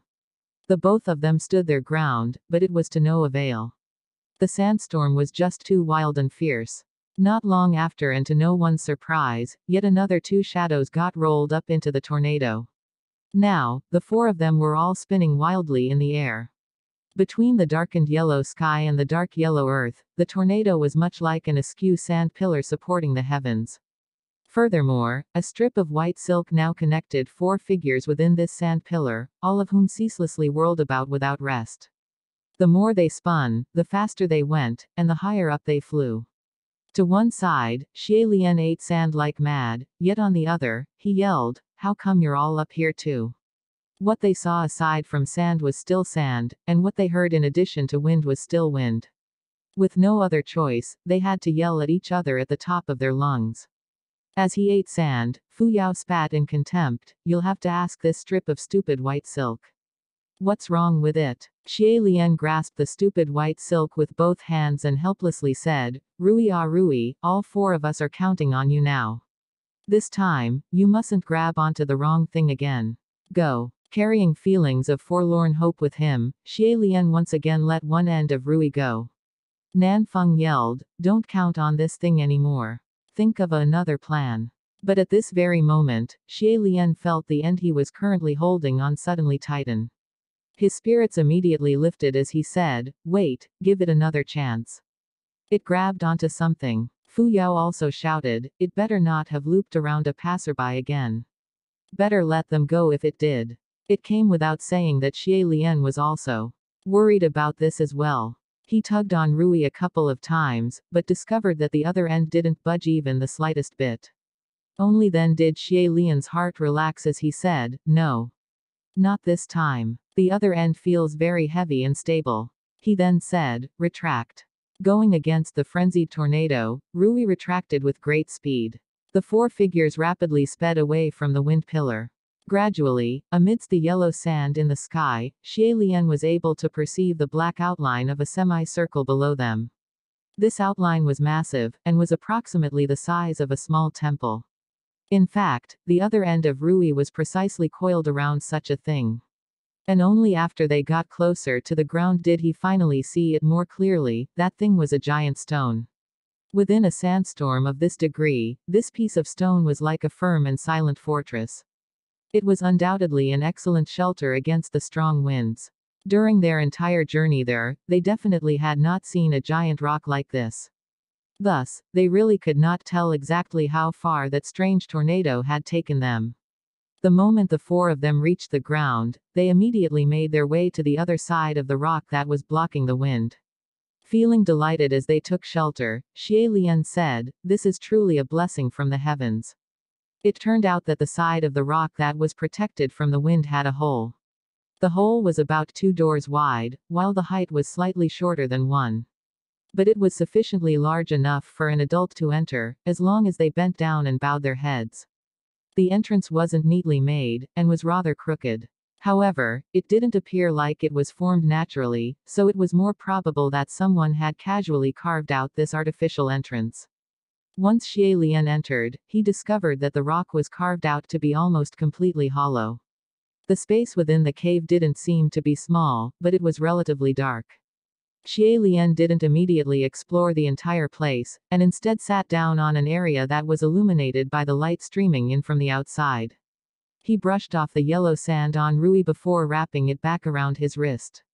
Nanfeng and Fu Yao were both spitting out sand. Sand had gotten into their mouth, eyes and ears, so it was needless to mention the folds within their clothes. Shedding their clothes and giving it a good shake had resulted in a heavy stream of sand and stone. Amongst the four of them, the one that looked the least affected was still San Lang. After he had bent over and entered the cave, he dusted off a few specks of dust on his red attire, but nothing more. This was done more for show and out of courtesy. With the exception of his hair being slightly disheveled and his ponytail being combed lopsided, his happy attitude didn't seem to have been affected at all. In addition, that lopsided hairstyle of his was originally combed crooked by Xie Lian. Hence, even if it became more crooked, it didn't really matter in the slightest. Nanfeng wiped his face twice before breaking out in curses. Xie Lian dumped out the sand within his bamboo hat before sighing, ah, Atilda I truly hadn't expected you guys to get blown into the air too. Why didn't you guys use the thousand pound spell? While spitting sand, Nanfeng replied, we did but it was ineffective. On one hand, Fu Yao viciously shook his outer robe, while on the other he spat, Where do you think this is? This is a barren desert in the extreme northwest. It's not like it's my general's domain. To the north is the territory belonging to the second general of the Pei House. To the west is Quan Yizhen's territory. Within these few hundred miles, there's no way you'd find even a single Xuan Zhen temple. It should be noted that there was a common saying within the mortal realm, a powerful dragon cannot crush a snake in its old haunts. Therefore, since one of them was an official under the Deputy General of the Southeast Martial God, while the other was an official under the Deputy General of the Southwest Martial God, using spiritual arts on a territory that didn't belong to them would inevitably mean that the enchantment in play would be subjected to restrictions. With their current appearances, Xie Lian believed that the two of them were both rather peeved and annoyed. It could be assumed that it was their first time being blown up into the sky by a gust of strong wind, only to whirl around in circles and be incapable of settling back onto the ground. Xie Lian said, Both of you truly worked hard. San Lang sat down on the ground next to him. With a hand propped up against his cheek, he said, Let's just stay here and wait for the sandstorm to subside. Xie Lian turned towards him and said, Looks like that's our only option for now. As powerful as this tornado may be, it's unlikely that it would also sweep up a rock this big into the sky. San Lang said, But it is just as you said before, this sandstorm is indeed very strange. Xie Lian suddenly thought of something and said, San Lang, I have a question. San Lang replied, Ask away. Xie Lian said, That Banyue Grand Tutor, are they male or female? San Lang replied, Have I not mentioned this yet? Female. Xie Lian thought, as expected, and said, When we were resting in that abandoned small inn, didn't we see two figures walk by the front? Their steps were graceful yet odd. They definitely couldn't have been mortals. In addition, the one in white had been a female official. Fu Yao was skeptical and said, It is hard to distinguish whether or not they were male or female just by looking at their robes. Their figure was also taller than an average woman's. Did you truly see it clearly? Xie Lian said, I saw it clearly, there's no mistake. So I've been thinking, could she have been the Banyue Grand Tutor? Nan Feng then said, It's possible, but there was a person wearing black by her side. Who could that have been? Xie Lian said, That's difficult to say. However, that person was walking faster than her, so his abilities definitely wouldn't be beneath hers. Fu Yao said, Is there a possibility that they were the two demonic cultivators' other member, the Grand Tutor Fang Xin? Xie Lian said, As for this, I think the reason why they're called the two demonic cultivators is probably because even numbers are easier to remember. Much like how in the ghost realm, there are the four calamities. Even though there aren't four in reality, people went out of their way to gather four anyways. Hearing this, San Lang laughed out loud again. When Xie Lian looked at him, San Lang said, It's nothing, I just thought that what you said is very reasonable. After all, one of the four calamities is indeed just there to make them an even number. Thus, Xie Lian continued talking, as a matter of fact, they probably have nothing to do with one another. I've heard a bit about this Grand Tutor Fang Xin. They were Yong'an Kingdom's royal tutor. There's at least a hundred years interval between their appearance and the Banyue Grand Tutor's arrival. Fu Yao found this to be unreasonable and said, You didn't know the four calamities of the ghost realm, yet you know of Grand Tutor Fang Xin from the Yong'an Kingdom in the mortal realm. Xie Lian said, Sometimes, when I'm passing by places as I collect scraps, I'd learn a few things. And it's not like I collect scraps in the ghost realm, so of course I wouldn't have known about them. At this moment, the sound of the wind from outside the cave had become a bit weaker. Standing slightly outside, Nan Feng hit the rock a few times to examine the material. After concentrating for a while, he bowed his head and said, Why would this rock get a hole of this size dug out of it? He probably thought it was suspicious to see a rock like this here. However, this didn't seem too strange to Xie Lian, so he said, A hole dug out of a rock like this isn't uncommon. The past people of the Banyue kingdom, as in those who needed a shelter from the sandstorm, like the ones who had been out herding livestock and thus couldn't make it home in time, or those who needed a temporary place to stay the night, would occasionally dig a hole in a rock like this. Some of these holes were not carved, but were blown out with explosives. Unconvinced, Nan Feng said, How would you even herd livestock in the desert? Xie Lian said, 200 years ago, this wasn't a desert. Instead, this place also had an oasis. At this moment, San Lang said, Gege. Xie Lian turned his head to ask, What's wrong? San Lang pointed his finger and said, The rock you're sitting on seems to have something written on it. What? Xie Lian lowered his head first before he got up. Only then did he discover that the place he was sitting on was a stone slate. Sure enough, after wiping off the dust, there were indeed words written on the slate. However, they were engraved relatively faintly, so the words weren't very visible. Half the slate was still buried within the sand. The writing extended upwards from the ground, while fading into the darkness. Since there were characters written there, then they definitely had to take a look. Xie Lian said, I'm low on spiritual power. Could one of you cast palm flame and help me illuminate this area? Many thanks. Nan Feng snapped his fingers. Instantly, a flame appeared on top of his palm. Xie Lian unintentionally glanced at San Lang, who didn't seem surprised at the sight. After all, the boy had already witnessed the shrink a thousand miles array. Xie Lian felt that, no matter what either side revealed to each other in the future, no one would be surprised. Nan Feng moved his hand to the place Xie Lian pointed at, and the fire illuminated the words engraved on the slate. The words were very strange, as if they were random drawings and scribbles casually scrawled by children. They were even slightly tilted. Nan Feng asked, What is written here? San Lang said, Naturally, they're the characters of the Banyue kingdom. Xie Lian replied, I'm afraid Nan Feng was asking about the meaning behind the words. Let me take a look. Cleaning the sand off the slate, Xie Lian reached the top row. Several of the characters here were especially large, and appeared to be the title or subject. In addition, the symbols there seemed to repeat many times throughout the rest of the text. Beside them, Fu Yao also called forth some light onto his palm before he asked, You can read Banyue text. Xie Lian said, In all honesty, before the Banyue demonic cultivator had appeared, I collected scraps in the Banyue kingdom. Quote ellipsis ellipsis dot dot quote. Is something the matter? Nothing, I was just curious as to how many other places you've collected scraps from. Xie Lian smiled, before he bowed his head to continue reading. Suddenly, he said a single word. General. Nan Feng and Fu Yao both spoke at the same time, what? Xie Lian lifted his head and said, I said, what's written at the very top of this slate is the word, General. He paused before continuing, there's another character written after, General. However, I'm not too certain as to what this last character means. Nan Feng seemed to have let out a breath before he said, continue to examine them then. The moment Xie Lian nodded his head, Nanfeng held up that ball of palm flame. Once again, his hand slightly shifted forward.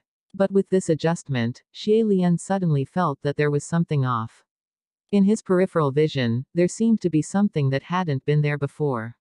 Xie Lian pressed both of his hands on the slate full of engraved characters, before he slowly raised his head. Only to see, amidst the darkness and superjacent to the slate, a rigid human face illuminated by the faint light of the flame. This face, with both eyeballs looking downwards, was currently staring straight at him. Ah, the one who screamed wasn't them, but the rigid human face. Another palm flame became lit in Nan Feng's other hand. Then, the flames upon both of his palms abruptly leapt upwards, reaching great heights. This finally illuminated the interior of the cave in its entirety.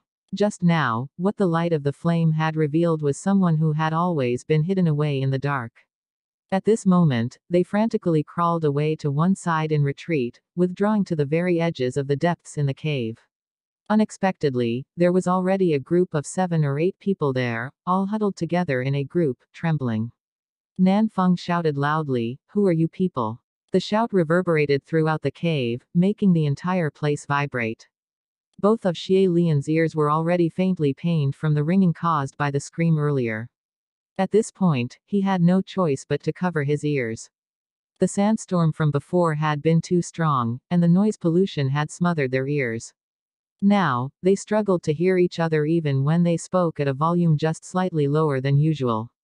In addition, after entering the cave, they had begun their heated discussion on the topic of the Banyue Grand Tutor. Later, they became very focused on deciphering the text on the stone slate. As a result, they did not sense there were other people hiding in the cave the entire time, people who hadn't made a single noise. The seven or eight people were all shivering. After quite a while, an old man around 50 years or so in age spoke up, We are a group of ordinary merchants passing through this area. The sandstorm was too strong and we couldn't keep going, so we ended up taking shelter here. Within the group of people, he appeared to be the most composed and seemed to be their leader. Nan Feng then said, As ordinary merchants just passing by, why were you all acting so furtive and hid yourselves here? That old man was just about to say something when the young man, who looked about 17 or 18 years old, standing beside him loudly exclaimed, We originally weren't acting in a furtive manner, until you guys suddenly burst inside. Who knew if you guys were good or bad? Afterwards, we faintly heard you mention something about a Banyue Grand Tutor and something about a ghost realm. Your palm was also able to light fire from thin air. We all thought you guys were those Banyue soldiers who had come out to patrol and to catch people to eat. How could we have dared to make a sound? The old man appeared to be afraid that this young man's words came off as too provoking and would anger the other party. He said, Tiansheng, stop speaking nonsense. That young man had thick eyebrows and large eyes, and was born with a strong and dignified appearance. When he got told off by his elder, he immediately stopped talking. Xie Lian's ears had finally stopped hurting, so he put down his hands. In an amicable manner, he said, A misunderstanding, this is a misunderstanding. Everyone, there's no need to be nervous. You can all relax a bit. After pausing for a moment, he continued, We're naturally not some Banyue soldiers. My humble self is the master of a monastery, and my companions are people from my monastery. They study the arts of divination. You are all ordinary merchants, but we're just ordinary Taoists. We mean no harm. Similarly, we wanted shelter from the wind, and just happened to enter the same cave. That's all. His tone was warm and gentle, while his way of speech was slow. Hence, he was able to reassure everyone's emotions. After repeatedly explaining and making guarantees, the expressions of the group of merchants finally eased. But who would have thought that San Lang would suddenly laugh before saying, How? From what I see, these merchants can't be ordinary people. They're just being modest. Puzzled, everyone glanced in his direction. San Lang continued, When it comes to Ban Banyue Pass, was it not? With every passing, half the party goes missing. Despite being fully aware of this rumor, you still dared to pass through here. This can be considered as being rather courageous. How can you depict them as ordinary? Having heard this, that old man replied, Young man, that is not always the case. In reality, rumors tend to be exaggerated, and there have been many merchants who passed through here in peace. San Lang said, Oh. The old man said, It's fine as long as you find the right person to lead the way, and don't end up accidentally straying into the former Banyue Kingdom's territory. Thus, this time, to pass through here, we specifically found a local to lead the way. The young man named Tiansheng said, That's right. It all depends on the leader. Us getting to this point is all thanks to A. He helped us avoid so many quicksands. In addition, he had seen the wind pick up earlier and immediately took us to find a shelter. Otherwise, we might have been buried alive by all the sand by now. Xie Lian took a look. The one named A Zhao, who had led their group, looked extremely young. He looked to be in his twenties, and was born with a sincere, honest and handsome face. Appearing to be someone who was quiet and slow to speak, he didn't react much when everyone praised him and only spoke in a stuffy tone, this is nothing, it's all part of my responsibilities. I hope that when the wind dies down, everyone's camels and goods will also remain unscathed. They'll definitely be alright. These merchants' attitudes seemed very optimistic. Yet, Xie Lian couldn't help but feel that things weren't as simple as what they had thought. If one doesn't stray into the territory of Banyue Kingdom, then there would be no problems. If that was the case, did the half the party goes missing caravans in the past all refer to the people who didn't believe this demonic ruse and were determined to send themselves off to die? He thought for a bit, before he whispered to Nan Feng and Fu Yao, this situation occurred quite suddenly.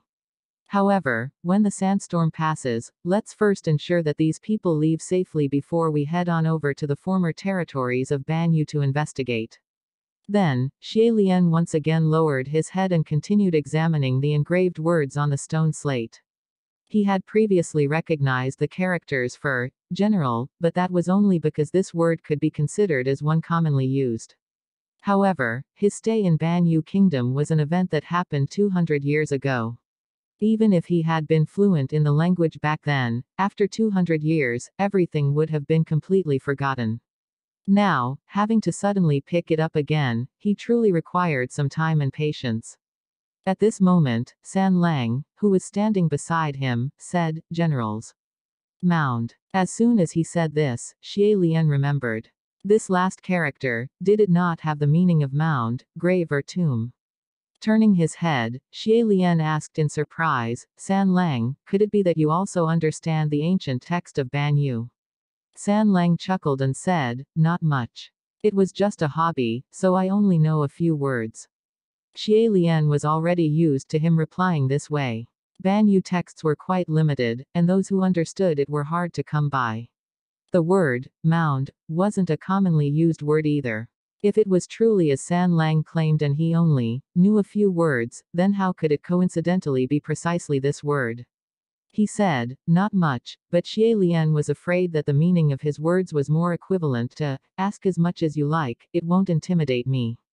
Immediately, Xie Lian replied with a smile. This is very good. Maybe the few words you know are the ones I don't know. Come here, let's look at this together. He gently beckoned him, Sasan Lang went over. Nanfeng and Fu Yao stood to the side while holding up their palm flames to illuminate the area for them. Xie Lian's finger slowly brushed over each character on the tombstone. Together with San Lang, they discussed in hushed voices as they quietly continued reading. As they read along, their gazes grew more and more peculiar by the second, until they finally turned solemn. The young man named Tiansheng from the group of merchants was relatively young, and young people were always full of curiosity. Moreover, having previously exchanged a few lines with the other party, he had henceforth considered them to be familiar with each other. Thus, Tiansheng asked, Fellow big brothers, what exactly is written on this tombstone? Xie Lian came back to his senses and replied, This slate is a monument, and what's written on this monument is a general's life story. Tiansheng said, Is he a general from the Banyue kingdom? San Lang replied, No, he's a general from the Central Plains. Suspicious, Nanfeng responded, A general from the Central Plains. Then, why would the people of the Banyue kingdom give him a proper mound? Aren't the two kingdoms constantly at war with one another? San Lang said, This particular general was very peculiar. Although the slate called him a general, in reality, he was merely a famous little military officer. Then, was he promoted to a general afterwards? Not at all. In fact, he began commanding a hundred people. Afterwards, he led 70 people, and then after that, he only led 50 people. Quote ellipsis ellipsis quote. In short, he kept getting demoted. To be demoted again and again, to the point one couldn't be demoted any further, this kind of experience honestly felt too familiar. Xie Lian felt two gazes collectively fall on his body, but he pretended not to notice and continued reading the text on the stone slate. At this moment, he heard Tiansheng ask with incomprehension, How can there be an official who becomes lower and lower ranked? As long as you don't make any big blunders, even if you don't get promoted, you also wouldn't get demoted. How much do you have to fail to get to this point? Quote ellipsis ellipsis quote. Tightening his right hand into a fist, Xie Lian lifted it to the front of his mouth and gently coughed. Then, he seriously said, Young friend, an officer who continues to get demoted isn't something uncommon. Ah. San Lang laughed and said, That's right, it's quite common. After a pause, he continued, the reason why this particular military official kept getting demoted wasn't because he was incompetent and unsuited for his duties, but because the relationship between the two kingdoms was very bad. Yet, when he was on the battlefield, not only did he not bring back any achievements, he also repeatedly became a hindrance. Nan Feng said, What do you mean by a hindrance? San Lang replied, not only did he try to stop the Banyue soldiers from killing the innocent people from his own country, he also stopped his own soldiers from killing the innocents of Banyue kingdom. Every time he acts to stop innocents from being slaughtered, he gets demoted once. His laid-back manner made the seven or eight merchants slowly huddle together, as if they were listening to him tell a story. They seemed fairly invested, and they also expressed their opinions as they listened on. Tiansheng said, I feel like this military official isn't wrong. It's what it is when soldiers fight each other in battle. But for not letting them randomly kill innocents, isn't this okay? Although this is something foolishly kind for a soldier of his kingdom and not exactly suitable, in general, there's nothing wrong. Yeah, after all, he's saving people, not harming them. Xie Lian heard this and faintly smiled. The group of merchants in front of him were neither the people living at the border, nor were they the people from 200 years ago. Nowadays, since Banyue kingdom had already been annihilated, people would naturally play down the matter when they mentioned it. They would be compassionate, and even give a few words of praise. And even if one didn't agree with something that had happened, they would probably understand why it had been done. But when it had been a hundred years ago, with both sides up in the flames of war and when hatred took no breaks, the consequences of the aforementioned behavior would definitely not be lightly evaluated as being foolishly kind. Within the group, only a Zhao was a local. It was probably because of this that he was able to understand it better. He said, Nowadays is nowadays, 200 years ago was 200 years ago. The fact that this military official merely got demoted already meant he was very lucky. Fu Yao only sneered before saying, How ridiculous. Xie Lian could pretty much guess what he was about to say. Thus, he gently massaged the space between his eyebrows. Sure enough, under the flame that illuminated Fu Yao's gloomy appearance, he said, Someone in his position should seek to do his duty. Since this person became a soldier, he should always remember to defend his own kingdom. When dauntlessly fighting enemies on the front line and with two kingdoms at war, it's inevitable to kill. Being this soft-hearted would only cause his comrades to loathe him. Moreover, enemy soldiers would find him comical and ridiculous. There wouldn't be anyone who would feel grateful. His words were also very reasonable, and so the cave fell silent. Then, Fu Yao said in a faint tone, in the very end, there's only one ending for people like that, death. And most likely, it would be at the hands of his own people. Having remained quiet for some time, Xie Lian broke the silence and said, Yes, you're quite right. He died. Shocked, Tiansheng exclaimed, Ah. How did he die? Did he really get killed by his own people? Xie Lian mulled over this for a moment, but still decided to say it, that's not entirely it. On the slate, it says that during one battle, whilst both parties were busy fighting one another, this man hadn't tied his boot laces properly and had stepped onto his own laces. He tripped and fell, and then. Everyone in the cave had originally thought that this general must have died in an incomparably tragic yet moving manner. Thus, having heard what was said, they were all taken aback. They all thought to themselves, what kind of death was this? Before laughter broke out amongst them, ha ha ha ha ha. Xie Lian. Ellipsis dot. And so he was. Trampled and slashed to death by both enemy and friend, whose eyes were glazed crimson from murder. Ha ha ha ha ha ha ha. San Lang raised an eyebrow and said, Is it that funny? Xie Lian also added, Cough. That's right, it's rather tragic. Everyone, let's show some sympathy and not laugh. Especially since we're in front of his tombstone, we should give him some face. Tiansheng hurriedly said, I don't mean any harm, but this is still, a little, ha-ha. Xie Lian felt helpless because when he had read up to this part, he had also wanted to laugh a little. However, he decided to not bring that up. Instead, he continued to translate and read out loud. Xie said, in short, although this military official had a bad reputation within the army, the citizens near the border of Banyue Kingdom and the people from the Central Plains who had been somewhat under his care started to call him, General. Then, they built him a simple mound here and set up a tombstone to commemorate him. San Lang added, afterwards, the people of Banyue Kingdom discovered a miraculous part to this tombstone, as long you kowtow in front of this stone slate three times, you'd be able to turn an inauspicious start to a good blessing in the Gobi Desert. His tone was really too enigmatic and unfathomable, which easily led people to believe him. The expression on his face was also deadly earnest. When people heard this, quite a few had immediately started to kowtow. It was better to believe that it existed than for it to not. However, Xie Lian found this rather baffling and said, Ah. Is there really a sentence that said that? How wondrous. San Lang faintly smiled before he whispered, No, I made that up. Since they had laughed at him before, making them kowtow to him now wouldn't be asking too much, right? Xie Lian looked and saw that it was really true. There was already no more text left to translate on the stone slate. He had originally wanted to sigh, but now he just found it funny. Thus, he also whispered, Why are you so cheeky?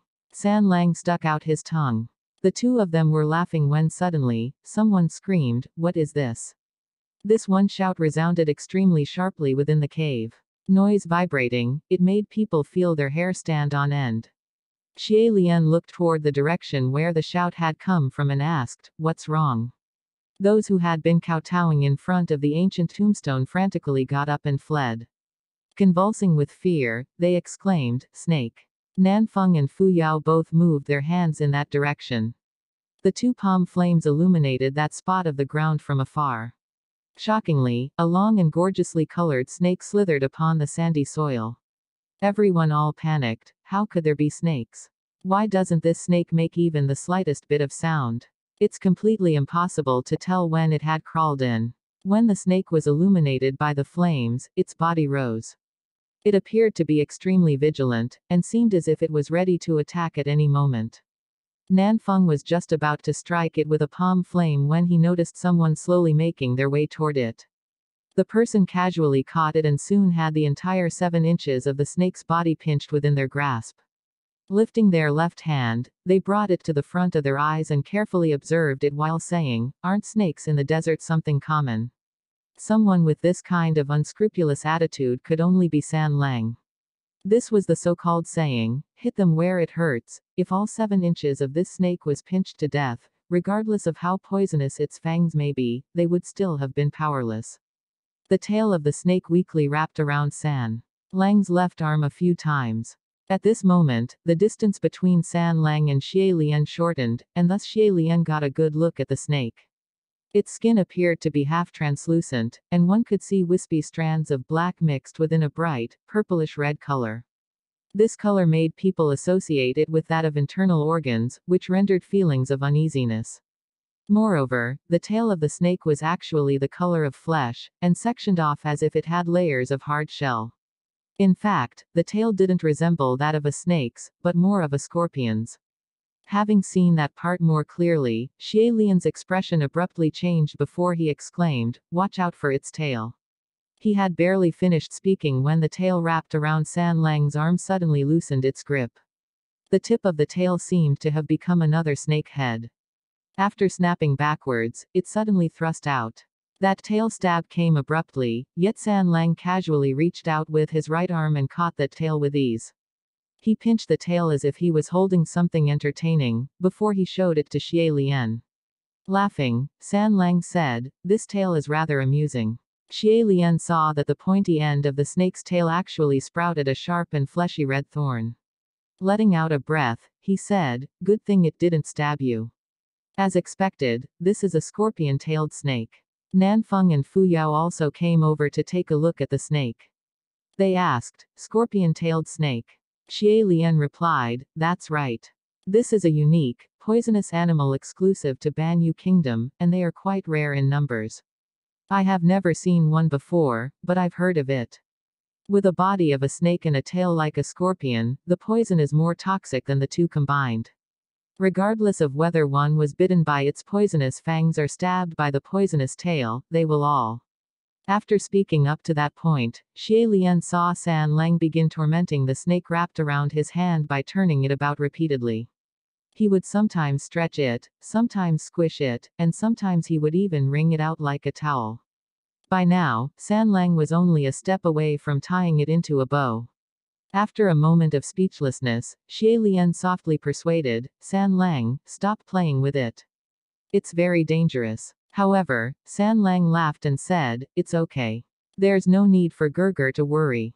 These scorpion-tailed snakes are the Banyue Grand Tutor's totem. Opportunities like these are rare, so of course I have to carefully examine it.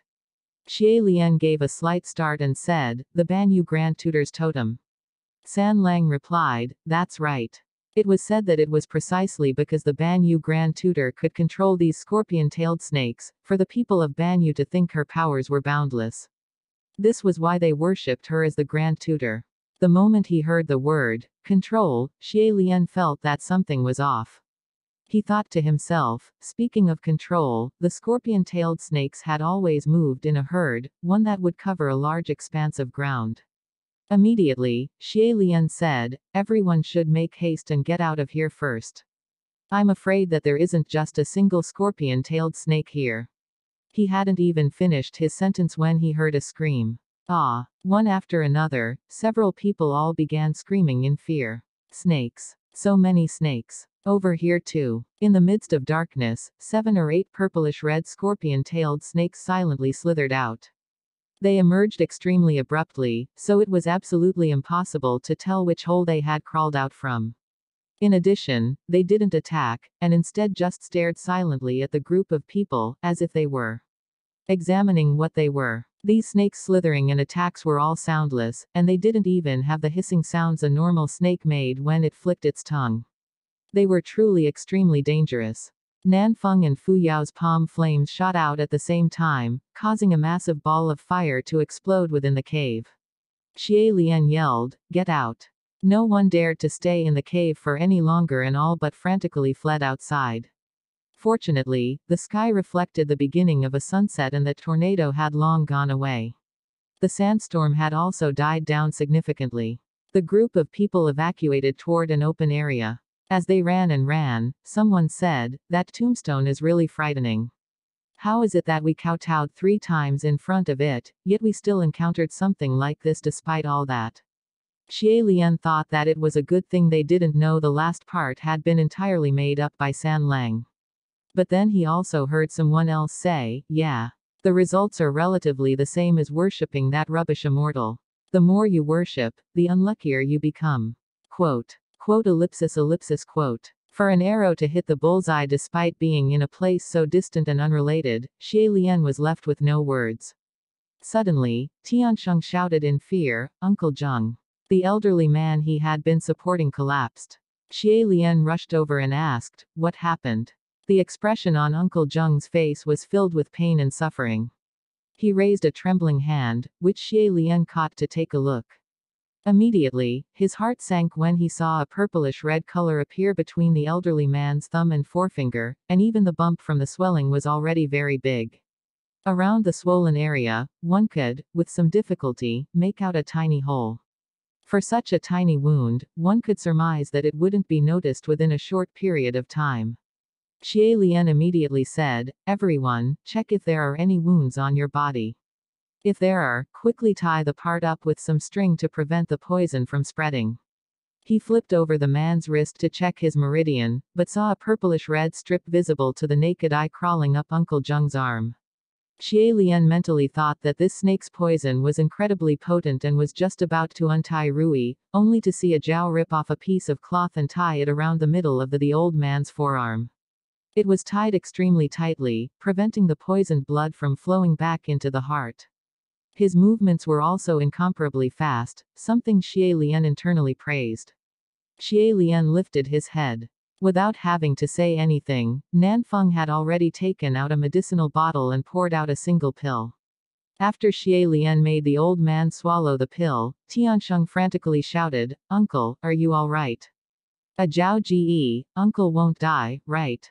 A Zhao shook his head and said, If you've been bitten by the scorpion-tailed snake, within four hours, death is inevitable. Stunned, Tiansheng said, Then, what can we do? Uncle Zheng was the leader of the merchant caravan.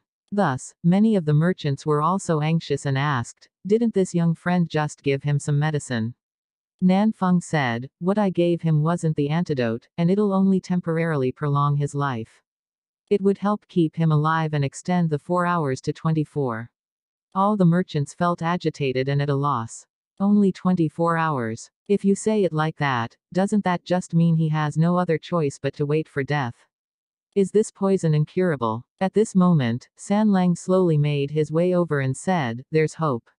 One after another, everyone looked at him. Overcome with happiness, Tiansheng turned his head around to say, Zhao Ji, if he can be saved, why didn't you say anything earlier?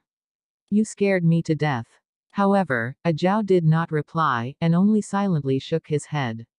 San Lang said, Of course it'd be difficult for him to say. If those who were poisoned could be saved, but others might lose their lives as a result, how could one explain this? Xie Lian asked, San Lang, what do you mean? San Lang replied, Gege, do you know the legend of the scorpion-tailed snake? It turned out, legend has it that hundreds of years ago in Banyue Kingdom, there had been an emperor. He went deep within the mountains to hunt, and inadvertently caught two sinister spirits whose true forms were that of poisonous creatures. One was a poisonous viper spirit, while the other was a scorpion spirit. These two poisonous beings cultivated deep within the mountains. They paid no attention to the affairs of the world and had never harmed anyone. However, the emperor of Banyue kingdom wanted them dead because they were poisonous creatures, and were thus bound to harm others sooner or later. So, the emperor wanted to kill them first. The two spirits pleaded for the emperor to spare them a single way to survive, but the emperor was a ruthless man. During a banquet, he forced the two spirits to mate in front of an audience of ministers as a means of entertainment, while the emperor himself and his ministers drank to their heart's content. And after the banquet had ended, the emperor still had the two poisonous spirits killed. Only the empress couldn't bear for this to happen, but she didn't dare disobey the emperor either. In the end, she only picked a scented leaf and tossed it over, covering the two spirits' corpses. The poisonous viper and scorpion turned into evil spirits, full of resentment. They cursed their descendants born after their forced intercourse to remain there forever and kill the people of Banyue Kingdom. Therefore, the scorpion-tailed snakes appeared exclusively within Banyue Kingdom. Once bitten or stung, the poison moved quickly and violently, and one's death would be miserable. However, because of the Empress' benevolent action that night, the scented leaf she had tossed over to cover their dead bodies became the antidote to their poison. After he finished explaining, San Lang said, that particular scented leaf is from a plant called the kindred moon herb. It only grows within the borders of the past Banyue kingdom. After hearing this, the merchants began talking one after another. This, this kind of legend, can it really be trusted? This young friend, someone's life is on the line, you shouldn't be joking with us now. However, San Lang only smiled and didn't say anything. After telling this to Xie Lian, he didn't say much afterwards. Seeking proof, Tiansheng turned to face a Zhao and asked, Zhao Ji, are the things the red-clothed Gege said true? After muttering to himself for a moment, A Zhao said, it's uncertain whether or not legends and myths are genuine or fake.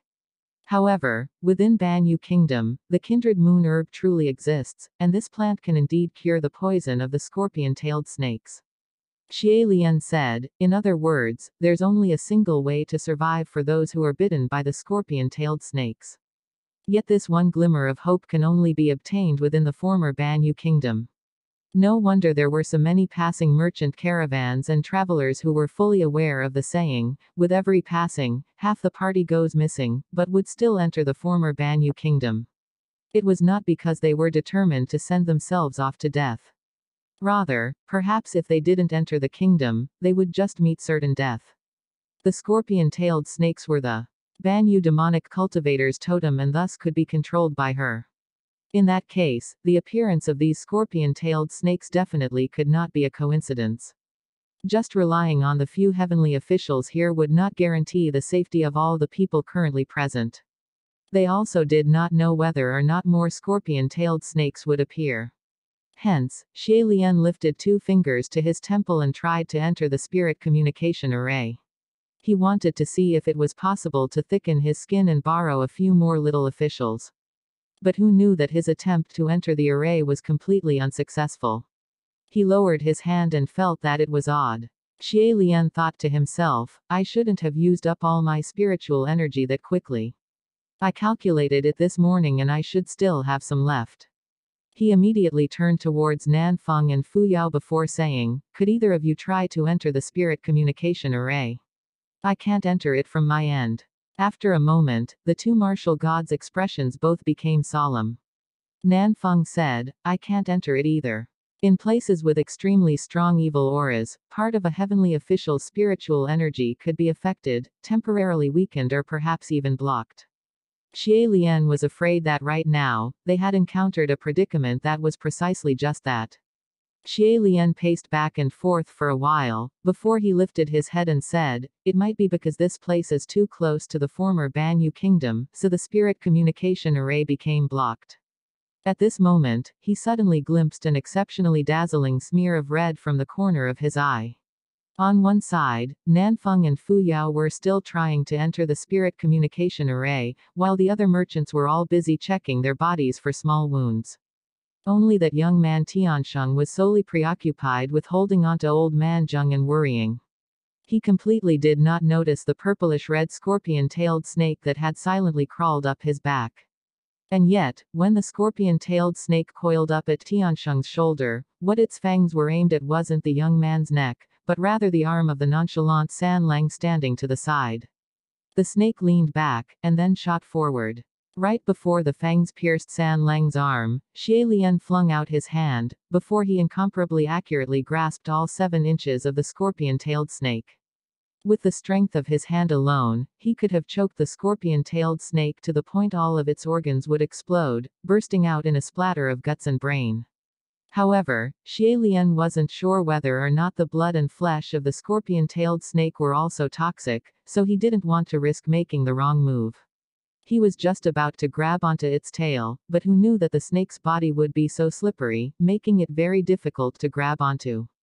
Although Xie Lian went to pinch it, he only felt something ice cold, round and soft slip through his fingers. And the very next moment, Xie Lian felt a sharp pain, like the prick of a needle, on the back of his hand. Heaven Official's Blessing. Audio by Dex San Wu Li. Written by Mo Xiang Tongxiu. Don't forget to subscribe to our channel.